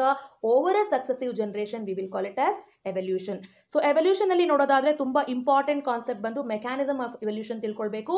ಮೆಕ್ಯಾನಿಸಮ್ ಆಫ್ ಇವಲ್ಯೂಷನಲ್ಲಿ ನೀವು ತಿಳ್ಕೊಳ್ಬೇಕಾಗಿರೋ ಕಾನ್ಸೆಪ್ಟ್ ನಾನು ಹಿಂದಿನ ಒಂದು ಎಂ ಸಿ ಕ್ಯೂ ಫಾರ್ಮಲ್ಲೂ ಹೇಳಿದ್ದೀನಿ. ಮ್ಯೂಟೇಷನ್ ಆಗಿರ್ಬೋದು ನ್ಯಾಚುರಲ್ ಸೆಲೆಕ್ಷನ್ ಆಗಿರ್ಬೋದು ಜೆನೆಟಿಕ್ ಡ್ರಿಫ್ಟ್ ಆಗಿರ್ಬೋದು ಮೈಗ್ರೇಷನ್ ಆಗಿರ್ಬೋದು, ಈ ನಾಲ್ಕು ಕಾನ್ಸೆಪ್ಟು ಕೂಡ ಮೆಕ್ಯಾನಿಸಮ್ ಆಫ್ ಎವಲ್ಯೂಷನಲ್ಲಿ ತುಂಬಾ important concept very very important concept hope ನಿಮಗೆ ಪ್ರೀವಿಯಸ್ ಕಾನ್ಸೆಪ್ಟ್ಸ್ ಎಲ್ಲ ಅರ್ಥ ಆಯಿತು ಅನ್ಕೋತೀನಿ. ಅರ್ಥ ಆದರೆ ಎಸ್ ಅಂತ ಕಮೆಂಟಲ್ಲಿ ಡ್ರಾಪ್ ಮಾಡಿ. ಸೊ ಮ್ಯುಟೇಷನ್ ಅಂದರೆ ಏನು? Change in the D N A sequence ತುಂಬ ಸಿಂಪಲ್ ಆಗಿ ಹೇಳ್ತಾ ಇದ್ದೀನಿ ನೋಡಿ. Change in the D N A sequence so ಇದೇನಾಗುತ್ತೆ? ವೇರಿಯೇಷನ್ಸನ್ನು ಜನರೇಟ್ ಮಾಡುತ್ತೆ. ಫಾರ್ ಎಕ್ಸಾಂಪಲ್ ನೀವು ಇಲ್ಲಿ ನೋಡ್ಬೋದು, ಒಂದು ಗ್ರೂಪ್ ಆಫ್ ರೆಡ್ ಬೀಟಲ್ಸ್ ಇದೆ.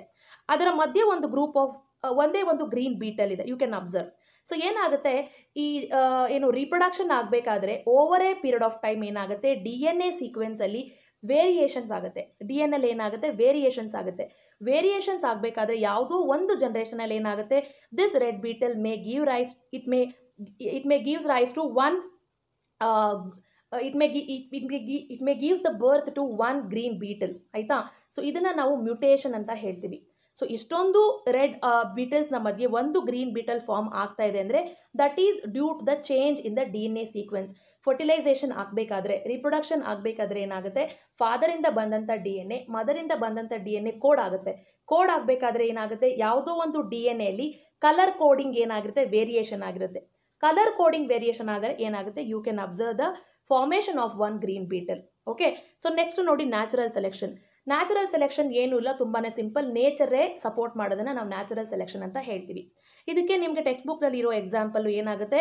ಸೊ ಐ ಹೋಪ್ ನಿಮಗೆಲ್ಲ ಗೊತ್ತಿದೆ, ಏನಾಗುತ್ತೆ? ಒಂದು ಗ್ರೂಪ್ ಆಫ್ ಗ್ರೀನ್ ಬೀಟಲ್ ಇರುತ್ತೆ, ಒಂದು ಗ್ರೂಪ್ ಆಫ್ ರೆಡ್ ಬೀಟಲ್ ಇರುತ್ತೆ. ಸೊ ಇಲ್ಲಿ ಒಂದಷ್ಟು ಬರ್ಡ್ಸ್ ಬಂದು ಏನಾಗುತ್ತೆ? ಗ್ರೀನ್ ಗ್ರಾಸ್ ಮೇಲೆ ಇರುವಂಥ ಒಂದು ಬೀಟಲನ್ನು ಅಬ್ಸರ್ವ್ ಮಾಡಿದಾಗ ತುಂಬ ವಿಸಿಬಲ್ ಆಗಿ ಕಾಣೋದು ರೆಡ್ ಬೀಟಲ್ ಅದಕ್ಕೆ. ಯಾಕೆಂದರೆ ಗ್ರೀನ್ ಮೇಲೆ ಗ್ರೀನ್ ತುಂಬ ವಿಸಿಬಲ್ ಆಗಿ ಕಾಣಲ್ಲ. ರೆಡ್ ಅನ್ನೋದು ತುಂಬ ವಿಸಿಬಲ್ ಆಗಿ ಕಾಣುತ್ತೆ. As a result of it ಏನಾಗುತ್ತೆ? ಎಲ್ಲ ಬರ್ಡ್ಸು ಕೂಡ ರೆಡ್ ಬೀಟಲನ್ನು ಕನ್ಸ್ಯೂಮ್ ಮಾಡುತ್ತೆ. ಗ್ರೀನ್ ಬೀಟಲ್ಸ್ ಎಲ್ಲ ಸರ್ವೈವ್ ಆಗುತ್ತೆ. ಸೊ ಇಲ್ಲಿ ಸರ್ವೈವ್ ಆಗ್ತಾ ಇರೋದು ಸರ್ವೈವಲ್ ಅಡ್ವಾಂಟೇಜ್ ಆಗುತ್ತೆ. ಆ್ಯಂಡ್ ದಿಸ್ ಈಸ್ ಬೀನ್ ಅಂದರೆ ಈ ಒಂದು ಸರ್ವೈವಲ್ ಅಡ್ವಾಂಟೇಜ್ ಕೊಟ್ಟಿರೋದು ಬಂದು nature nature has selected this particular organisms to survive so ಇದನ್ನು ನಾವು ನ್ಯಾಚುರಲ್ ಸೆಲೆಕ್ಷನ್ ಅಂತ ಹೇಳ್ತೀವಿ. Change in the frequency of some genes in a population which will give the survival advantage and that will also will that is also happen through the nature ಇದನ್ನು ನಾವು natural selection ಅಂತ ಹೇಳ್ತೀವಿ. Okay so next ಬಂದು ನಿಮಗೆ ಇರೋದು genetic drift genetic ಡ್ರಿಫ್ಟಲ್ಲಿ ನಿಮಗೆ elephant foot ಅನ್ನೋ ಒಂದು ಎಕ್ಸಾಂಪಲ್ ಇದೆ. ಏನಾಗಿರುತ್ತೆ? ಒಂದು ಗ್ರೂಪ್ ಆಫ್ ಗ್ರೀನ್ ಬಿಟಲ್ ಇದೆ, ಒಂದು ಗ್ರೂಪ್ ಆಫ್ ಈಗ ಬ್ಲೂ ಬಿಟಲ್ ಕೂಡ ಇಲ್ಲಿದೆ. ಯು ಕ್ಯಾನ್ ಅಬ್ಸರ್ವ್ ಈಗ ಒಂದು ಫಾರೆಸ್ಟಲ್ಲಿ ಯಾವುದೋ ಒಂದು ಎಲಿಫೆಂಟ್ ಪಾಸ್ ಆಗಬೇಕಾದ್ರೆ ಬೈ ಮಿಸ್ಟೇಕ್ ಏನಾಗುತ್ತೆ? ಈ ಗ್ರೂಪ್ ಆಫ್ ಗ್ರೀನ್ ಬೀಟಲನ್ನು ಅಥವಾ ಗ್ರೂಪ್ ಆಫ್ ಬ್ಲೂ ಬೀಟಲನ್ನು ಸ್ಟಾಂಪ್ ಮಾಡಿಬಿಡುತ್ತೆ ಅಂದ್ಕೊಳ್ಳಿ ಆಯಿತಾ? ಯಾವುದೋ ಒಂದು ಗ್ರೂಪ್ ಆಫ್ ಬಿಟಲನ್ನು ಸ್ಟಾಂಪ್ ಮಾಡಿದಾಗ ಏನಾಗುತ್ತೆ? ಒಂದು ಗ್ರೂಪ್ ವ್ಯಾನಿಷ್ ಆಗುತ್ತೆ. Let us take an example ಈಗ ಗ್ರೀನ್ ಬಿಟಲ್ ಮೇಲೆ ಸ್ಟಾಂಪ್ ಮಾಡ್ತು ಎಲಿಫೆಂಟ್ ಅಂದರೆ ಬ್ಲೂ ಬಿಟಲ್ಸ್ ಎಲ್ಲ ಸರ್ವೈವ್ ಆಯಿತು. ಇದು ಏನಾಗ್ತಾ ಇದೆ? ಆಕ್ಸಿಡೆಂಟಲ್ ಪ್ರಾಸೆಸ್ಸಿಂದ ಆಗ್ತಾ ಇರೋದು. ಅರ್ಥ ಆಗ್ತಿದ್ಯಾ? ಜೆನೆಟಿಕ್ ಡ್ರಿಫ್ಟ್ ಅನ್ನೋದು ಒಂದು ಆಕ್ಸಿಡೆಂಟಲ್ ಪ್ರಾಸೆಸ್ಸಿಂದ ಆಗ್ತಾ ಇರೋದು. So change in the frequency of some lucky genes ಯಾಕೆ ಲಕ್ಕಿ ಜೀನ್ಸ್ ಈಗ ಆನಿಮಲ್ ಪಾಸ್ ಆಗ್ತಾ ಇದೆ. ಅದು ಇಂಟೆನ್ಷನಲಿ ಯಾವುದೇ ಕಾರಣಕ್ಕೂ ಇಂಟೆನ್ಷನಲಿ ಈ ಕೆಲಸನ ಮಾಡಲಿಲ್ಲ. ಏನನ್ನ ಗ್ರೀನ್ ಬಿಟಲ್ಸ್ನ ಸ್ಟ್ಯಾಂಪ್ ಮಾಡಲಿಲ್ಲ. ಆಕ್ಸಿಡೆಂಟಲ್ ಆಗಿ ಏನಾಯಿತು? ಗ್ರೀನ್ ಬಿಟಲ್ನ ಸ್ಟ್ಯಾಂಪ್ ಮಾಡ್ತು.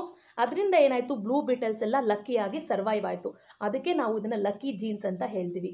So change in the frequency of some lucky genes in a population even though they do not have any survival advantage ಅದನ್ನು ನಾವು ಜೆನೆಟಿಕ್ ಡ್ರಿಫ್ಟ್ ಅಂತ ಹೇಳ್ತೀವಿ. ಫಾರ್ ಎಕ್ಸಾಂಪಲ್ ಇಲ್ಲಿ ಬ್ಲೂ ಪೀಟಲ್ ನೆಕ್ಸ್ಟ್ ಮೈಗ್ರೇಷನ್ ನಾಲ್ಕನೇದು ಇದು ಏನು ಮೆಕ್ಯಾನಿಸಮಲ್ಲಿ genetic ಸಾರಿ migration ಅಂದರೆ ಏನು ಅಂತಂದರೆ movement of organism from one place to another place so ಈಗ a group of blue beetle ಇದೆ. A group of blue beetle ಮಧ್ಯೆ ಇರುವಂಥ ಒಂದು ಯಾವುದೋ ಬೀಟಲ್ ಇನ್ನೊಂದು ಏನು ಏರಿಯಾಗೆ ಪಾಸ್ ಆಗ್ತಾ ಇದೆ ಅಂದರೆ ಏನಾಗುತ್ತೆ? ಇಲ್ಲಿರುವಂಥ ಒಂದು ಜೀನ್ಸ್ ಎಲ್ಲ ಇನ್ನೊಂದು ಆರ್ ಏನು ಏರಿಯಾಗೆ ಪಾಸ್ ಆಗುತ್ತೆ. ಸೊ ಇಲ್ಲಿ ಅದು ರೀಪ್ರೊಡಕ್ಷನನ್ನು ಶುರು ಮಾಡಿದಾಗ ಏನಾಗುತ್ತೆ? ಆ, ಅಲ್ಲಿ ನಾವು ಏನು ಮಾಡ್ಬೋದು? ಇನ್ನೊಂದು ವೆರೈಟಿ ಆಫ್ ಆರ್ಗ್ಯಾನಿಸಮ್ಸನ್ನು ನೋಡ್ಬೋದು. ಸೊ ಮೈಗ್ರೇಷನ್ ಅಂದರೆ ಜಸ್ಟ್ ನೀವೇನು ತಿಳ್ಕೊಳ್ಬೇಕು? ಮೂವ್ಮೆಂಟ್ ಆಫ್ ಆರ್ಗ್ಯಾನಿಸಮ್ ಇಲ್ಲೇನಾಗ್ತಾ ಇದೆ? ಒಂದು ಆರ್ಗ್ಯಾನಿಸಮ್ ಮೂವ್ ಆಗ್ತಾ ಇದೆ ಇನ್ನೊಂದು ಏರಿಯಾಗೆ as a result of that it can create its own area understand so ಇದನ್ನು ನಾವು ಮೈಗ್ರೇಷನ್ ಅಂತ ಹೇಳ್ತೀವಿ. ಫೈನಲಿ ಇನ್ನೊಂದು ಸ್ವಲ್ಪ ಕಾನ್ಸೆಪ್ಟ್ ಇದೆ ನೋಡಿ. Acquired traits and inherited traits acquired traits inherited traits ಎಕ್ಸಾಮಲ್ಲಿ ಕೇಳ್ತಾ ಇದ್ದಾರೆ. ಈ ವರ್ಷನೂ ಕೇಳಿದ್ದಾರೆ. ಮಲ್ಟಿಪಲ್ ಚಾಯ್ಸ್ ಕ್ವಶನಲ್ಲಿ ಅಕ್ವೈರ್ಡ್ ಟ್ರೇಡ್ಸ್ ಅಂದರೆ ಏನು? ಇನ್ಹೆರಿಟೆಡ್ ಟ್ರೇಡ್ಸ್ ಅಂದರೆ ಏನು? ಅಕ್ವೈರ್ಡ್ ಅಂದರೆ ನಿಮ್ಮ ಲೈಫ್ ಟೈಮಲ್ಲಿ ಬರೋದು. ಇನ್ಹೆರಿಟೆಡ್ ಅಂದರೆ ನಿಮ್ಮ ಪೇರೆಂಟ್ಸಿಂದ ನಿಮಗೆ ಬರೋದು. ಇಷ್ಟನ್ನು ಮಾತ್ರ ತಿಳ್ಕೊಳ್ಳಿ. ವೆರಿ ಸಿಂಪಲ್ ನಿಮ್ಮ ಒಂದು ಲೈಫ್ ಟೈಮಲ್ಲಿ ಏನು ಮಾಡ್ತೀರಾ? ನೀವು ಬಾಡಿ ಬಿಲ್ಡ್ ಮಾಡ್ಕೊಳ್ಬೋದು, ಅಥವಾ ನಿಮ್ಮ ಹೇರ್ ಕಲರ್ ಚೇಂಜ್ ಮಾಡ್ಕೊಳ್ಬೋದು, ಅಥವಾ ನಿಮ್ಮ ಫೇಸ್ ಮೇಲೆ ಸ್ಕಾರ್ಸ್ ಬರ್ಬೋದು. ಇದೆಲ್ಲ ಕೂಡ ನಿಮ್ಮ ಲೈಫ್ ಟೈಮಲ್ಲಿ ಆಗ್ಬೋದು. ಅಥವಾ ನೀವು ಜೀನಿಯಸ್ ಆಗ್ಬಿಡ್ಬೋದು. ಓಕೆನಾ ನಿಮ್ಮ ಟ್ರೇಟ್ಸ್ ಏನಾಗುತ್ತೆ? ಅಕ್ವೈರ್ಡ್ ಟ್ರೇಡ್ಸು ನಿಮ್ಮ ಒಂದು ಪ್ರೋಜನಿಗೆ ನಿಮ್ಮ ಆಫ್ ಸ್ಪ್ರಿಂಗ್ಗೆ ಅದು ಪಾಸ್ ಆಗೋದಿಲ್ಲ. ಅದಕ್ಕೆ ನಾವು ಅದನ್ನು ಅಕ್ವೈರ್ಡ್ ಟ್ರೇಟ್ಸ್ ಅಂತ ಹೇಳ್ತೀವಿ. ಇನ್ಹೆರಿಟೆಡ್ ಟ್ರೇಟ್ಸ್ ಅಂದರೆ ಏನು? Inherited traits may be shape of the shape of the ear ಆಗಿರ್ಬೋದು ಕಲರ್ ಆಫ್ ದ ಹೇರ್ ಆಗಿರ್ಬೋದು ಕಲರ್ ಆಫ್ ದ ಐಬಾಲ್ ಆಗಿರ್ಬೋದು, ನಿಮ್ಮ ಪೇರೆಂಟ್ಸಿಂದ ನಿಮಗೆ ಏನು ಇನ್ಹೆರಿಟ್ ಆಗ್ತಾ ಇದೆ ಥ್ರೂ ದ ಜೀನ್ಸ್ ಅದನ್ನು ನಾವು ಇನ್ಹೆರಿಟೆಡ್ ಟ್ರೇಟ್ಸ್ ಅಂತ ಹೇಳ್ತೀವಿ. Okay so this is all about ಏನು acquired trait and inherited trait next ಬಂದು ಸ್ಪೀಸಿಯೇಷನ್ ಈ ಕಾನ್ಸೆಪ್ಟು ಕೇಳಿದ್ದಾರೆ. ಸ್ಪೀಸಿಯೇಷನ್ ಅಂದರೆ ಏನು ಅಂದರೆ ಆಲ್ರೆಡಿ ಒಂದು ಸೆಟ್ ಆಫ್ ಆರ್ಗ್ಯಾನಿಸಮ್ಸ್ ಇರುತ್ತೆ. ಇರೋ ಆರ್ಗ್ಯಾನಿಸಮ್ಸಿಂದ ಹೊಸ ಆರ್ಗ್ಯಾನಿಸಮ್ಸ್ ಫಾರ್ಮ್ ಆಗುತ್ತೆ. ಎಕ್ಸ್ಪ್ಲನೇಷನ್ ಇಷ್ಟೇ ಇದಕ್ಕೆ. Origin of new species from the existing species ಅಂತ ಹೇಳ್ತೀವಿ. ಇದನ್ನು ನಾವು ಸ್ಪೀಶಿಯೇಷನ್ ಅಂತ ಹೇಳ್ತೀವಿ. ಅಂಡರ್ಸ್ಟ್ಯಾಂಡ್ ಗ್ರೂಪ್ ಆಫ್ ಆರ್ಗ್ಯಾನಿಸಮ್ಸ್ ಇರುತ್ತೆ, ಹೊಸ ಆರ್ಗ್ಯಾನಿಸಮ್ಸ್ ಫಾರ್ಮ್ ಆಗುತ್ತೆ, ಅದನ್ನು ನಾವು ಸ್ಪೀಸಿಯೇಷನ್ ಅಂತ ಹೇಳ್ತೀವಿ. ನೆಕ್ಸ್ಟ್ ಬಂದು ಫಾಸಿಲ್ಸ್ ಸ್ವಲ್ಪ ನಾನು ಫಾಸ್ಟಾಗಿ ಹೋಗ್ತಾ ಇದ್ದೀನಿ, ಬೇಕಾದ್ರೆ ಪಾಸ್ ಮಾಡಿ ಕೇಳಿಸ್ಕೊಳ್ಳಿ. ಸೊ ಫಾಸಿಲ್ಸ್ ಕಾನ್ಸೆಪ್ಟ್ ಇದೆ. ನೆಕ್ಸ್ಟ್ ಫಾಸಿಲ್ಸ್ ಅಂದರೆ ಏನು ಅಂದರೆ fossils are the preserved remains of living organisms from the remote past ಅಂತ ಹೇಳ್ತೀವಿ. ಅಂದರೆ ಮಿಲಿಯನ್ಸ್ ಆಫ್ ಇಯರ್ಸ್ ಅಗೋ ಏನಾಗುತ್ತೆ? ನಮ್ಮ ಭೂಮಿ ಮೇಲೆ ಎಷ್ಟೊಂದು ವೆರೈಟಿ ಆಫ್ ಆರ್ಗ್ಯಾನಿಸಮ್ಸ್ ಇತ್ತು. As the generation passes due to natural calamities ಏನಾಯಿತು? ಇದ್ದಂಥ ಆರ್ಗ್ಯಾನಿಸಮ್ಸ್ ಈಗ ಡೈನೋಸರ್ಸ್ ಇತ್ತು, ಇನ್ನೂ ವೆರೈಟಿ ಆಫ್ ಆರ್ಗ್ಯಾನಿಸಮ್ಸ್ ಇತ್ತು. ಎಲ್ಲ ಏನಾಯಿತು? ಎಕ್ಸ್ಟಿಂಕ್ಟ್ ಆಗ್ತಾ ಆಗ್ತಾ ಒಂದೊಂದು ಲೇಯರಲ್ಲಿ ಏನಾಯಿತು? ಸೆಟಲ್ ಆಗ್ತಾ ಬಂತು you can see this figure ಈ ಫಿಗರ್ನ ನೋಡಿದ್ರೆ ನಿಮಗೆ ಅರ್ಥ ಆಗುತ್ತೆ. ಏನಾಯಿತು? Over a generation of time ಏನಾಯಿತು? ಅದು ಪಾಸ್ ಆಗ್ತಾ ಆಗ್ತಾ ಬಂತು. ಎಲ್ಲಿ? Deeper the layer of the earth ಏನಾಯಿತು? ಎಕ್ಸ್ಟಿಂಕ್ಟ್ ಆಗ್ತಾ ಸತ್ ಹೋಗ್ತಾ ಏನಾಯಿತು? ಒಂದೊಂದು ಲೇಯರಲ್ಲಿ ಅದು ಅಕ್ಯುಮಿಲೇಟ್ ಆಯ್ತಾ? ಏನಾಯಿತು? ಅಕ್ಯುಮಿಲೇಟ್ ಆಯಿತು. ಅದು ಅಕ್ಯುಮಿಲೇಟ್ ಆಗ್ತಾ ಆಗ್ತಾ ಏನಾಯ್ತು? ಎಷ್ಟೊಂದು ವೆರೈಟಿ ಏನು ಡಿಫ್ರೆಂಟ್ ನಾಟ್ ವೆರೈಟಿ ಎಷ್ಟೊಂದು ಡಿಫ್ರೆಂಟ್ ಲೇಯರ್ಸ್ ಫಾರ್ಮ್ ಆಯಿತು. ಅರ್ಥ ಆಯ್ತಾ? ಸೊ ಈ ಲೇಯರ್ಸಿಂದ ನಾವು ಏನು ಮಾಡ್ತೀವಿ? We can estimate the age of fossils age of ಫಾಸಿಲ್ಸನ್ನು ಹೇಗೆ ಎಸ್ಟಿಮೇಟ್ ಮಾಡ್ತೀವಿ ಅಂದರೆ deeper the layer of the fossil older it is very simple ಎಷ್ಟು ಡಿಪರ್ ಆಗಿರುತ್ತೆ ಫಾಸಿಲ್ ಅಷ್ಟು ಓಲ್ಡರ್ ಆಗಿರುತ್ತೆ. ಒಂದು ಡಿಪರ್ ಲೇಯರಲ್ಲಿ ಹೋಗಿ ಒಂದು ಸ್ಮಾಲ್ ಇಂಪ್ರೆಷನ್ ಆಫ್ ಮೈಕ್ರೋ ಆರ್ಗಾನಿಸಮ್ಸನ್ನು ನಾವು ಫೈಂಡ್ ಮಾಡ್ತಾ ಇದೀವಿ ಅಂದರೆ ಅಷ್ಟು ಹಿಂದಿನ ಕಾಲದ್ದು ಆ ಒಂದು ಮೈಕ್ರೋ ಆರ್ಗಾನಿಸಮ್ ಅಥವಾ ಪ್ರಿಮಿಟಿವ್ ಆರ್ಗ್ಯಾನಿಸಮ್ ಆಗಿರುತ್ತೆ. ಫಾಸಿಲ್ ಅಂದರೆ ಏನು ಅಂದರೆ it's a dead and decaying organisms preserved remains ಯಾವಾಗ ಇದು ರಿಮೋಟ್ ಪಾಸ್ಟ್ನಲ್ಲಿ ಇರುವಂಥ ಆರ್ಗ್ಯಾನಿಸಮ್ ರಿಮೇನ್ ಆಗಿರುತ್ತೆ. ಇಟ್ ಮೇ ಬಿ ಸ್ಕೆಲಿಟನ್ ಆಗಿರ್ಬೋದು ಟೀತ್ ಆಗಿರ್ಬೋದು ಬೋನ್ ಆಗಿರ್ಬೋದು anything it may be a small sample of a bacterial cell ಕೂಡ ಆಗಿರಬಹುದು. Okay estimation of fossil is very important deeper the fossil is older it is ನೀವು ನೋಡ್ಬೋದು ಇಲ್ಲಿ ಎಷ್ಟೆಷ್ಟು ಕೆಳಗಡೆ ಹೋಗ್ತೀವಿ ನಾವು ಏನಾಗುತ್ತೆ? ಅಷ್ಟು ಹಳೆಯದ್ದು ಫಾಸಿಲ್ ಆಗಿರುತ್ತೆ. ಸೊ ಇನ್ನು ಮತ್ತೆ ಹೇಳ್ತಾ ಇದ್ದೀನಿ ಈ ಕಾನ್ಸೆಪ್ಟ್ ಏನಾದರೂ ಡಿಟೇಲ್ಡ್ ಆಗಿ ಬೇಕಾಗಿದ್ರೆ ಹೆರಿಡಿಟಿ ಆ್ಯಂಡ್ ಎವಲ್ಯೂಷನ್ನ ನಾನು ಕಂಪ್ಲೀಟ್ ಟೆನ್ ಟು ಟ್ವೆಲ್ ಸ್ಲೈಡ್ಸನ್ನು ಹಾಕಿದ್ದೀನಿ ಈಗ ಹೇಳ್ತಿರೋ ಕಾನ್ಸೆಪ್ಟ್ ಯಾವುದಾದ್ರೂ ಒಂದು ನಿಮಗೆ ಇನ್ನೂ ಡಿಟೇಲ್ ಎಕ್ಸ್ಪ್ಲನೇಷನ್ ಬೇಕು ಅಂದರೆ ಪ್ಲೇಲಿಸ್ಟಲ್ಲಿ ನೀವು ಚೆಕ್ ಮಾಡ್ಕೊಳ್ಳಿ.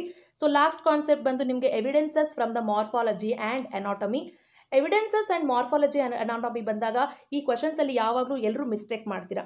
ಮಾರ್ಫಾಲಜಿ ಆ್ಯಂಡ್ ಅನಾಟಮಿ ಏನು? ಸೊ ಇದಕ್ಕೂ ಮುಂಚೆ ಇನ್ನೊಂದು ಕಾನ್ಸೆಪ್ಟ್ ಇದೆ ಐ ಜಸ್ಟ್ ಲೆಫ್ಟ್ ಇಯರ್ ನೋಡಿ. Fossil record show the link between the birds and reptiles ಅಂತ ಒಂದು ಕಾನ್ಸೆಪ್ಟ್ ಇದೆ ಇಲ್ಲಿ. ಸೊ ಏನು ಹೀಗಂದರೆ ಫಾರ್ ಎಕ್ಸಾಂಪಲ್ ನಿಮ್ಗೊಂದು ಕ್ವೆಶನ್ ಇತ್ತು ಮಲ್ಟಿಪಲ್ ಚಾಯ್ಸ್ನಲ್ಲಿ ಏನಾಗುತ್ತೆ? ಒಂದು ಬರ್ಡ್ಗೆ ಫೆದರ್ ಇದೆ, ಬ ಏನು ಸಾರಿ ಒಂದು ರೆಪ್ಟೈಲ್ಗೆ ಬ ಫೆದರ್ ಇದೆ ಬರ್ಡ್ಗೂ ಫೆದರ್ ಇದೆ. ಹಾಗಾದರೆ ಈ ಒಂದು ಆರ್ಗ್ಯಾನಿಸಮ್ ಯಾವುದಕ್ಕೆ ಎಕ್ಸಾಂಪಲ್ ಅಂತ ಕೇಳ್ತಾ ಇದ್ದಾರೆ. ಓಕೆ ಹಾಗೂ ಇದು, ಏನು, ಇದಕ್ಕೆ ಲಿಂಕ್ ಇದೆಯಾ ಅಂತ ಕೇಳ್ತಾರೆ. ಎಸ್ ಇದಕ್ಕೆ ಲಿಂಕ್ ಇದೆ. ಯಾಕೆ ಅಂತಂದರೆ ಸೊ ಹಿಂದಿನ ಕಾಲದಲ್ಲಿ ಆರ್ಕಿಯೋಪ್ಟ್ರಿಕ್ಸ್ ಅಂತ ಒಂದು ಬರ್ಡ್ ಇತ್ತು. ಈಗ ಸಾರಿ ಆರ್ಕಿಯೋಪ್ಟ್ರಿಕ್ಸ್ ಅಂತ ಒಂದು ರೆಪ್ಟೈಲ್ ಇತ್ತು. ಈಗ ನಮ್ಮ ಒಂದು ಬರ್ಡ್ಸ್ ನಾವು ಏನು ನೋಡ್ತಾ ಇದ್ದೀವಿ? ಈ ಎರಡಕ್ಕೂ ಕೂಡ ಫೆದರ್ಸ್ ಇದೆ. ಬಟ್ ಹಿಂದಿನ ಕಾಲದ ಇದ್ದಂಥ ಆರ್ಕಿಯೋಪ್ಟಿಕ್ಸ್ ಬರ್ಡ್ಗೆ ಏನಾಗಿತ್ತು? ಇದ್ದಂಥ ಫೆದರು ಅದು ಇನ್ಸುಲೇಷನ್ ಪರ್ಪಸ್ಗೆ ಯೂಸ್ ಮಾಡ್ತಿತ್ತು. Because the climatic condition was very cold during that time so ಈಗ ಏನಾಗ್ತಾ ಇದೆ? ಈಗಿರುವಂಥ ಬರ್ಡ್ಗಿರುವಂಥ ಫೆದರು ಅದು ಫ್ಲೈಟ್ ಪರ್ಪಸ್ಗೆ ಯೂಸ್ ಮಾಡ್ತಾ ಇದೆ. ಎರಡಕ್ಕೂ ಕೂಡ ಫೆದರ್ ಇದೆ. ಆಯಿತಾ? ಫ್ಲೈಟ್ ಪರ್ಪಸ್ಗೆ ಯೂಸ್ ಮಾಡ್ತಾ ಇದೆ. ಹೌದಲ್ವಾ? ಆದರೆ ಏನಾಗ್ತಿತ್ತು ಹಿಂದಿನ ಕಾಲದಲ್ಲಿ ಆ ಒಂದು ಬರ್ಡ್ ಇದ್ದ ಇದ್ದಂಥ ಬರ್ಡ್ ಫ್ಲೈಟ್ ಪರ್ಪಸ್ಗೆ ಯೂಸ್ ಮಾಡ್ತಿರ್ಲಿಲ್ಲ. ಸೊ ಇದು ಯಾವುದಕ್ಕೆ ಎಕ್ಸಾಂಪಲ್ ಹೋಮೋಲಾಗಸ್ಕ ಅನಲಾಗಸ್ಕ ಅಂತ ಕಮೆಂಟಲ್ಲಿ ಡ್ರಾಪ್ ಮಾಡಿ. ನಿಮ್ಗೆ ಅರ್ಥ ಆಗಿರುತ್ತೆ ಅನ್ಕೊಡ್ತೀನಿ, ಈ ಕಾನ್ಸೆಪ್ಟ್ನ ಮುಂದೆ ಮುಂಚೆನೂ ಎಕ್ಸ್ಪ್ಲೇನ್ ಮಾಡಿದ್ದೀನಿ. ಓಕೆನಾ ಸೊ ಏನಕ್ಕೆ ಎಕ್ಸಾಂಪಲ್ ಆಗ್ಬೋದು ಅಂತ ನೀವೇ ಇಲ್ಲಿ ಡ್ರಾಪ್ ಮಾಡಿ ಕಮೆಂಟಲ್ಲಿ let me see whether you have understood a concept or not ಈಗ ಕಂಪ್ಯಾರಿಟಿವ್ ಎಂಬ್ರಿಯಾಲಜಿ ಎಂಬ್ರಿಯಾಲಜಿ ಅಂದರೆ ಏನು? ಅಂದರೆ ಸಿಂಪಲ್ ಆಗಿ ಹೇಳ್ತೀನಿ ನೋಡಿ ಕಂಪ್ಯಾರಿಟಿವ್ ಎಂಬ್ರಿಯಾಲಜಿಲಿ ಏನೂ ಇಲ್ಲ. ಎಲ್ಲ ಅನಿಮಲ್ಸು ಕೂಡ ಏನಾಗುತ್ತೆ? ಒಂದು ಸ್ಟೇಜಲ್ಲಿ ಅದರ ಫೀಟಸ್ನ ನೋಡಿದಾಗ ಸೇಮ್ ಇರುತ್ತೆ. All the animals go through they similar stages similar stages in the early development of foetus ಅಂತ ಹೇಳ್ತೀವಿ. ನೀವು ಇಲ್ಲಿ ಅಬ್ಸರ್ವ್ ಮಾಡಿ ಎಷ್ಟೊಂದು ಫಿಗರ್ ಇದೆ. ಫಿಶ್ ಆಗಿರ್ಬೋದು, salamander, turtle, chick pig, cow rabbit human. ಇಷ್ಟೊಂದು ವೆರೈಟಿ ಆಫ್ ಆರ್ಗ್ಯಾನಿಸಮ್ಸ್ ಇದೆ. ಎಲ್ಲ ಆರ್ಗ್ಯಾನಿಸಮ್ಸು ಕೂಡ ಹುಟ್ಟಬೇಕಾದ್ರೆ, ಅಂದರೆ ಯಾವಾಗ ಝೈಗೋಟ್ ಫಾರ್ಮ್ ಆಗುತ್ತೆ, ಆ ಒಂದು ಸ್ಟೇಜಲ್ಲಿ ನೀವು ಅಬ್ಸರ್ವ್ ಮಾಡಿ, ಎಲ್ಲರದೂ ಕೂಡ ಎಂಬ್ರಿಯೋ ಸ್ಟ್ರಕ್ಚರ್ ಸೇಮ್ ಇದೆ. ಆ್ಯಸ್ ದ ಟೈಮ್ ಪಾಸಸ್ ಏನಾಗುತ್ತೆ, ಡೆವಲಪ್ ಆಗ್ತಾ ಆಗ್ತಾ ಊಂಬ್ ಆಫ್ ದಟ್ ಪರ್ಟಿಕ್ಯುಲರ್ ಮದರ್ನಲ್ಲಿ ಏನಾಗುತ್ತೆ, ಅದರ ಒಂದು ಬಾಡಿ ಎಕ್ಸ್ಟರ್ನಲ್ ಸ್ಟ್ರಕ್ಚರ್ಸ್ ಏನಾಗ್ತಾ ಇದೆ ಡಿಫರ್ ಆಗ್ತಾ ಇದೆ. ಅರ್ಥ ಆಗ್ತಿದ್ಯಾ? ಸೊ ಇದನ್ನ ನಾವು ಎಕ್ಸಾಂಪಲ್ ಆಗಿ ಹೇಳ್ತೀವಿ. ಯಾವುದಕ್ಕೆ? ಕಂಪ್ಯಾರಿಟಿವ್ ಎಂಬ್ರಿಯಾಲಜಿ ಅಥವಾ ಮಾರ್ಫಾಲಜಿ ಅಂಡ್ ಅನಾಟಮಿಗೆ ಎಕ್ಸಾಂಪಲ್ ಆಗಿ ಹೇಳ್ತೀವಿ. ಓಕೆ ಸೊ ಇದನ್ನ ಬಿಟ್ಟು ಹೋಮೋಲಾಗಸ್ ಆರ್ಗನ್ಸ್ ಅನಾಲಾಗಸ್ ಆರ್ಗನ್ಸ್ ಬಗ್ಗೆ ನಿಮ್ಮೆಲ್ಲರಿಗೂ ಗೊತ್ತಿದೆ ಅಲ್ವಾ? ಹೋಮೋಲಾಗಸ್ ಆರ್ಗನ್ಸ್ ಅಂದ್ರೆ ಏನು? The organs which have the similar origin and structure but they will perform the different function ಇದನ್ನ ನಾವು ಹೋಮೋಲಾಗಸ್ ಆರ್ಗನ್ಸ್ ಅಂತ ಹೇಳ್ತೀವಿ. ಅನಾಲಾಗಸ್ ಆರ್ಗನ್ಸ್ ಅಂದ್ರೆ ಏನು? The organisms which have the different origin but they perform the same function ಅದನ್ನು ನಾವು analogous organs ಅಂತ ಹೇಳ್ತೀವಿ. ಓಕೆ ಹೋಮೋಲಾಗಸ್ ಆರ್ಗನ್ಸ್ಗೆ ಆನೋಲಾಗಸ್ ಆರ್ಗನ್ಸ್ಗೆ ಎಕ್ಸಾಂಪಲ್ ಕೂಡ ಇದೆ. Forelimbs of amphibians and mammals for example ಈಗ ನಮ್ಮ ಒಂದು ಫೋರ್ ಲಿಮ್ಸ್ ಹಾಗೂ ಬರ್ಡ್ಸ್ನ ಒಂದು ಫೋರ್ ಲಿಮ್ಸ್ ಸಾರಿ ಡಾಗ್ನ ಒಂದು ಫೋರ್ ಲಿಮ್ಸ್ನ ತೊಗೊಂಡ್ರೆ ಏನಾಗುತ್ತೆ? ನಮ್ಮ ಬಾಡಿನಲ್ಲಿರುವ ಇಂಟರ್ನಲ್ ಸ್ಟ್ರಕ್ಚರ್ ಸೇಮ್ ಇರುತ್ತೆ. ಬಟ್ ನಾವು ನಮ್ಮ ಫೋರ್ ಲಿಮ್ಸನ್ನ ಏನು ಮಾಡ್ತೀವಿ? ಥಿಂಗ್ಸನ್ನ ಹೋಲ್ಡ್ ಮಾಡೋಕ್ಕೆ ಯೂಸ್ ಮಾಡ್ತೀವಿ. ಆದರೆ ಆ ಡಾಗ್ನ ಫೋರ್ ಲಿಮ್ಸ್ ಏನು ಮಾಡುತ್ತೆ? ಅದು ವಾಕ್ ಮಾಡೋಕ್ಕೋ ಹಾಪ್ ಮಾಡೋಕ್ಕೋ ರನ್ ಮಾಡೋಕ್ಕೋ ಯೂಸ್ ಮಾಡುತ್ತೆ. ಸೊ ಇಲ್ಲಿ ಏನಾಗಿದೆ ಸಿಮಿಲರ್ ಸ್ಟ್ರಕ್ಚರ್ ಇದೆ ನಮ್ಮಿಬ್ಬರಿಗೂ ಬಟ್ ನಾವು ಪರ್ಫಾರ್ಮ್ ಮಾಡ್ತಿರುವಂಥ ಫೋರ್ ಲಿಮ್ಸ್ನ ಫಂಕ್ಷನ್ ಡಿಫ್ರೆಂಟ್ ಆಗಿದೆ. ಅದರಿಂದ ನಾವು ಇದನ್ನು ಹೋಮೋಲಾಗಸ್ ಆರ್ಗನ್ಸ್ ಅಂತ ಹೇಳ್ತೀವಿ. ಆನೋಲಾಗಸ್ ಅಂದರೆ ಏನು? ಈಗ ವಿಂಗ್ ಆಫ್ ಅ ಬ್ಯಾಟ್ ನೋಡಿ ವಿಂಗ್ ಆಫ್ ಅ ಬಟರ್ಫ್ಲೈ ನೋಡಿ ಎರಡರದು ವಿಂಗ್ ಏನಾಗಿರುತ್ತೆ? ಸ್ಟ್ರಕ್ಚರ್ ವೈಸ್ ಆರಿಜಿನ್ ಡಿಫ್ರೆಂಟ್ ಇರುತ್ತೆ ಬಟ್ ಎರಡನ್ನೂ ಕೂಡ ಫ್ಲೈಟ್ ಪರ್ಪಸ್ಗೆ ಯೂಸ್ ಆಗುತ್ತೆ. ಓಕೆನಾ ಸೊ ಅದರಿಂದ ನಾವು ಏನು ಮಾಡ್ತೀವಿ? ಇದನ್ನು ಅನಾಲಾಗಸ್ ಆರ್ಗನ್ಸ್ ಅಂತ ಹೇಳ್ತೀವಿ. S evolution by stages eyes ಅಂತ ಇದೆ. ಇದ್ರ ಬಗ್ಗೆ ಏನು ಕ್ವೆಶನ್ಸ್ ಅಷ್ಟೊಂದು ಕೇಳೋದಿಲ್ಲ. ಏನಾಗಿರುತ್ತೆ? ಅರ್ಥ ಮೇಲೆ ಬಂದಂಥ ಎಲ್ಲ ಪ್ರಿಮಿಟಿವ್ ಆರ್ಗ್ಯಾನಿಸಮ್ಸ್ ಕೂಡ ಐಸ್ ಆಗಿರ್ಬೋದು ಫೆದರ್ಸ್ ಆಗಿರ್ಬೋದು ಏನಾಗಿರುತ್ತೆ? ತುಂಬ ಸಿಂಪಲ್ ಆಗಿರುತ್ತೆ ಅದರ functions as the generation passes ಏನಾಗುತ್ತೆ? ತುಂಬ ಕಾಂಪ್ಲಿಕೇಟ್ ಆಗುತ್ತೆ. ಆಯಿತಾ? ಫಾರ್ ಎಕ್ಸಾಂಪಲ್ ಈಗ ಏನಾಗುತ್ತೆ? ಭೂಮಿ ಮೇಲೆ ಬಂದಂಥ ಒಂದು first organism let's take an example of okay ಒಂದು ಪ್ಲಾಸ್ಮೋಡಿಯಮ್ ಅನ್ನು ತಗೊಳ್ಳೋಣ ಅಥವಾ ಒಂದು ಯೂಗ್ಲಿನ ತಗೊಳ್ಳೋಣ. ಯೂಗ್ಲಿನಾಗ ಏನಾಗಿತ್ತು? ಐ ಒಂದು, ಐ ಅನ್ನೋ ಒಂದು ಸ್ಟ್ರಕ್ಚರ್ ಇರಲಿಲ್ಲ. ಐ ಸ್ಪಾಟ್ ಅಂತ ಇತ್ತು. ಅಂದರೆ ಒಂದು ಸ್ಮಾಲ್ ಹೋಲ್ ಇತ್ತು ಅದ್ರ ಬಾಡಿ ಮೇಲೆ. ಆ ಇದ್ದಂಥ ಹೋಲ್ ಏನಾಗ್ತಾ ಇತ್ತು? ಲೈಟನ್ನು ಡಿಟೆಕ್ಟ್ ಮಾಡ್ತಾ ಇತ್ತು. ಸೊ ಡಿಟೆಕ್ಟ್ ಮಾಡ್ತಾ ಮಾಡ್ತಾ ಏನಾಯಿತು? ಆ ಐ ಅನ್ನೋದು ಒಂದು ಕಾಂಪ್ಲೆಕ್ಸ್ ಸ್ಟ್ರಕ್ಚರ್ ಆಗಿ ಫಾರ್ಮ್ ಆಯಿತು. ಎಲ್ಲಿ? ಯುಗ್ಲಿನಾದಲ್ಲಿ. ಯುಗ್ಲಿನಾಲಿದ್ದಂಥ ಐ ಸ್ಪಾಟ್ ಏನಾಯಿತು? ಈಗ ನಮ್ಮ ಹ್ಯೂಮನಲ್ಲಿರುವಂಥ ಐ ಏನಾಗ್ತಿದೆ? ಕಾಂಪ್ಲೆಕ್ಸ್ ಸ್ಟ್ರಕ್ಚರ್ ಇದು. ಆ ಐ ಸ್ಪಾಟೇ ಈಗ ಐ ಆಗಿದೆ. ವೆಲ್ ಡೆವಲಪ್ಡ್ ಸ್ಟ್ರಕ್ಚರ್ ಆಗಿದೆ. So this happen over a ಜನರ ಜನರೇಷನ್ ಆಫ್ ಟೈಮ್ ಇದನ್ನು ನಾವು ಎವಲ್ಯೂಷನ್ ಬೈ ಐಸ್ ಅಂತ ಹೇಳ್ತೀವಿ. Eyes are the organ of sight ಏನಾಯಿತು? ಇನ್ ಈಗ ನಾವು ಎಷ್ಟು ಕಾಂಪ್ಲೆಕ್ಸ್ ಆಗಿದೆ ನಮ್ಮ ಐಸ್ ಅಂತ ನೀವೇ ಅರ್ಥ ಮಾಡ್ಕೊಳ್ಳಿ. ಯುಗ್ಲಿನಾಗೆ ಇದ್ದಂಥ ಐ ಎಷ್ಟು ಸಿಂಪಲ್ ಆಗಿತ್ತು ಅಂತ ನೀವೇ ಜಸ್ಟ್ ಡಿಫ್ರೆನ್ಷಿಯೇಟ್ ಮಾಡ್ಕೊಳ್ಳಿ. ಸೊ ಎವಲ್ಯೂಷನ್ ಎಷ್ಟು ಫಾರ್ ಬೆಟರ್ ಆಗಿದೆ ಅಂತ ನಿಮ್ಗೆ ಅರ್ಥ ಆಗುತ್ತೆ. ಎವಲ್ಯೂಷನ್ ಬೈ ಫದರ್ಸ್ ಹೇಳ್ದೆ ಈಗ ತಾನೇ ನಾನು ಆರ್ಕಿಯೋಪ್ರಿಕ್ಸ್ ಬಗ್ಗೆ. ಲಾಸ್ಟ್ ಕಾನ್ಸೆಪ್ಟ್ ಇದೆ ನಿಮಗೆ ಆರ್ಟಿಫಿಷಿಯಲ್ ಸೆಲೆಕ್ಷನ್ ನೋಡಿ ಆರ್ಟಿಫಿಷಿಯಲ್ ಸೆಲೆಕ್ಷನ್ ಬಗ್ಗೆ ಎಂ ಸಿ ಕ್ಯೂಸ್ ಕೂಡ ಕೇಳಿದ್ದಾರೆ. ಏನಾಯಿತು? ಹಿಂದಿನ ಒಂದು ಟೈಮಲ್ಲಿ ಏನಾಯಿತು? ಫಾರ್ಮರ್ಸ್ ವೈಲ್ಡ್ ಕ್ಯಾಬೇಜ್ ಅಂತ ಇದ್ದಂಥ ಒಂದು ಪರ್ಟಿಕ್ಯುಲರ್ ಏನು ವೆಜಿಟೇಬಲನ್ನು they have cross pollinated with the different characters ಅಂದರೆ ವೈಲ್ಡ್ ಕ್ಯಾಬೇಜ್ ಒಂದನ್ನೇ ಇಟ್ಕೊಂಡು, ಒಂದು ವೆರೈಟಿನ ಇಟ್ಕೊಂಡು ಡಿಫ್ರೆಂಟ್ ವೆರೈಟಿ ಆಫ್ ಕ್ಯಾಬೇಜಸ್ನ ತಂದರು. ಫಾರ್ ಎಕ್ಸಾಂಪಲ್ ಕೇಲ್ ಆಗಿರ್ಬೋದು ಕಾಲರಾಬಿ ಆಗಿರ್ಬೋದು ಬ್ರೊಕಾಲಿ ಆಗಿರ್ಬೋದು. ಸೊ ಅರೆಸ್ಟೆಡ್ ಫ್ಲವರಲ್ಲಿ ಇರುವಂಥ ಒಂದು ಏನು ಸ್ಪೀಷೀಸ್ ಆಗಿರ್ಬೋದು. ಇದೆಲ್ಲನೂ ಕೂಡ ಏನು ಮಾಡು they have brought only with the help of wild cabbage so wild cabbage is the ancestor for kale kohlrabi or may be the cauliflower so ಇದೆ ಬ್ರೊಕಾಲಿ ಇದಕ್ಕೆಲ್ಲ ಕೂಡ ವೈಲ್ಡ್ ಕ್ಯಾಬೇಜೇನೇ ಆನ್ಸಿಸ್ಟರ್ ಆಗಿದೆ. ಸೊ ಇದನ್ನು ಮಾಡಿದ್ದು ಬಂದು ಹ್ಯೂಮನ್ನೇ ಆಗಿದ್ರು. ಏನು ಹ್ಯೂಮನ್ನೇ ಆಗಿರೋದ್ರಿಂದ ಇದನ್ನು ನಾವೇನು ಹೇಳ್ತೀವಿ? ಆರ್ಟಿಫಿಷಿಯಲ್ ಸೆಲೆಕ್ಷನ್ ಅಂತ ಹೇಳ್ತೀವಿ. ಯಾಕೆ ಆರ್ಟಿಫಿಷಿಯಲ್ ಸೆಲೆಕ್ಷನ್ ಅಂತ ಹೇಳ್ತೀವಿ ಅಂದರೆ see this is this is done artificially naturally ಆಗಿದ್ರೆ ಏನಾಗುತ್ತೆ? There is no involvement of human natural ಆಗುವಂಥ ಏನೇ ಒಂದು ಆ್ಯಕ್ಟಿವಿಟೀಸಲ್ಲಿ ಏನಾಗಿರುತ್ತೆ? ಹ್ಯೂಮನ್ ಇನ್ವಾಲ್ವ್ಮೆಂಟ್ ಇರಲ್ಲ. ಇದು ಆರ್ಟಿಫಿಷಿಯಲಿ ಹ್ಯೂಮನ್ನೇ ಏನು ಮಾಡ್ದ? ಕೆಲವೊಂದು ಸಲ ನನಗೆ ಅರೆಸ್ಟೆಡ್ ಫ್ಲವರ್ ಬೇಕು, ಕೆಲವೊಂದು ಕಡೆ ನನಗೆ ಫ್ರೀ ಲೀವ್ಸ್ ಬೇಕು, ಕೆಲವೊಂದು ಕಡೆ ನನಗೆ ಇನ್ನು ಲೂಸ್ ಲೀವ್ಸ್ ಬೇಕು, ಈ ರೀತಿ. ಒಂದೊಂದು ಕ್ಯಾರೆಕ್ಟರ್ಸ್ ನನಗೆ ಒಂದೊಂದು ರೀತಿಯ ಕ್ಯಾಬೇಜ್ನಲ್ಲಿ ಬೇಕು ಅಂತ ಏನು ಮಾಡ್ದ? ಅವನು ಅಲ್ಲಿರುವಂಥ ಒಂದು ಪರ್ಟಿಕ್ಯುಲರ್ ಟ್ರೇಟನ್ನ ಸೆಲೆಕ್ಟ್ ಮಾಡಿ ಅದನ್ನು ಪಾಲಿನೇಟ್ ಮಾಡ್ದ. ಅದರಿಂದ ನಮಗೆ ರಿಸಲ್ಟೆಂಟ್ ವೆರೈಟಿ ಆಫ್ ಕ್ಯಾಬೇಜಸ್ ಬಂದಿದೆ. So this is happen through the artificial selection okay I hope ನಿಮ್ಗೆ ಇದೆಲ್ಲ ಅರ್ಥ ಆಯಿತು ಅನ್ಕೋತೀನಿ. ಎಲ್ಲ ಕಾನ್ಸೆಪ್ಟು ಕ್ಲಿಯರ್ ಮಾಡಿದ್ದೀನಿ ಯಾವುದೇ ಒಂದು ಕಾನ್ಸೆಪ್ಟ್ನ ಇನ್ನೂ ಇಂಪಾರ್ಟೆಂಟ್ ಆಗಿ ನೀವು ಕೇಳಿಸ್ಕೊಳ್ಬೇಕು ಅಂದರೆ ಕಂಪ್ಲೀಟ್ ಪ್ಲೇ ಲಿಸ್ಟನ್ನು ನಾನು ಆಫ್ಟರ್ ಟೆನ್ ಮಿನಿಟ್ಸ್ ಡ್ರಾಪ್ ಮಾಡಿರ್ತೀನಿ ಡಿಸ್ಕ್ರಿಪ್ಷನಲ್ಲಿ ನೀವು ಓಪನ್ ಮಾಡಿ ನೋಡ್ಕೊಳ್ಳಿ. So this is all about heredity and evolution ಈ ಲೆಸನ್ಗೆ ರಿಲೇಟೆಡ್ ಆಗಿ ಒಂದು ಕ್ವಿಝನ್ನು ಮಾಡ್ತೀನಿ. ಜಸ್ಟ್ ರ್ಯಾಂಡಮ್ ಕ್ವಿಝ್ ನಾನು ಈವ್ನಿಂಗ್ ಮಾಡ್ತೀನಿ. ಸೊ ಈ ಲೆಸನ್ ಅಷ್ಟೊತ್ತಿಗೆ ನೀವು ಪ್ರಿಪೇರ್ ಆಗಿ ಹೋಪ್ ನಿಮಗೆ ಲೆಸನ್ ಕಂಪ್ಲೀಟ್ ಆಗಿ ಅರ್ಥ ಆಯಿತು ಅಂತ ಅನ್ಕೋತೀನಿ. Thank you so much for participating in the morning live session so take care children keep studying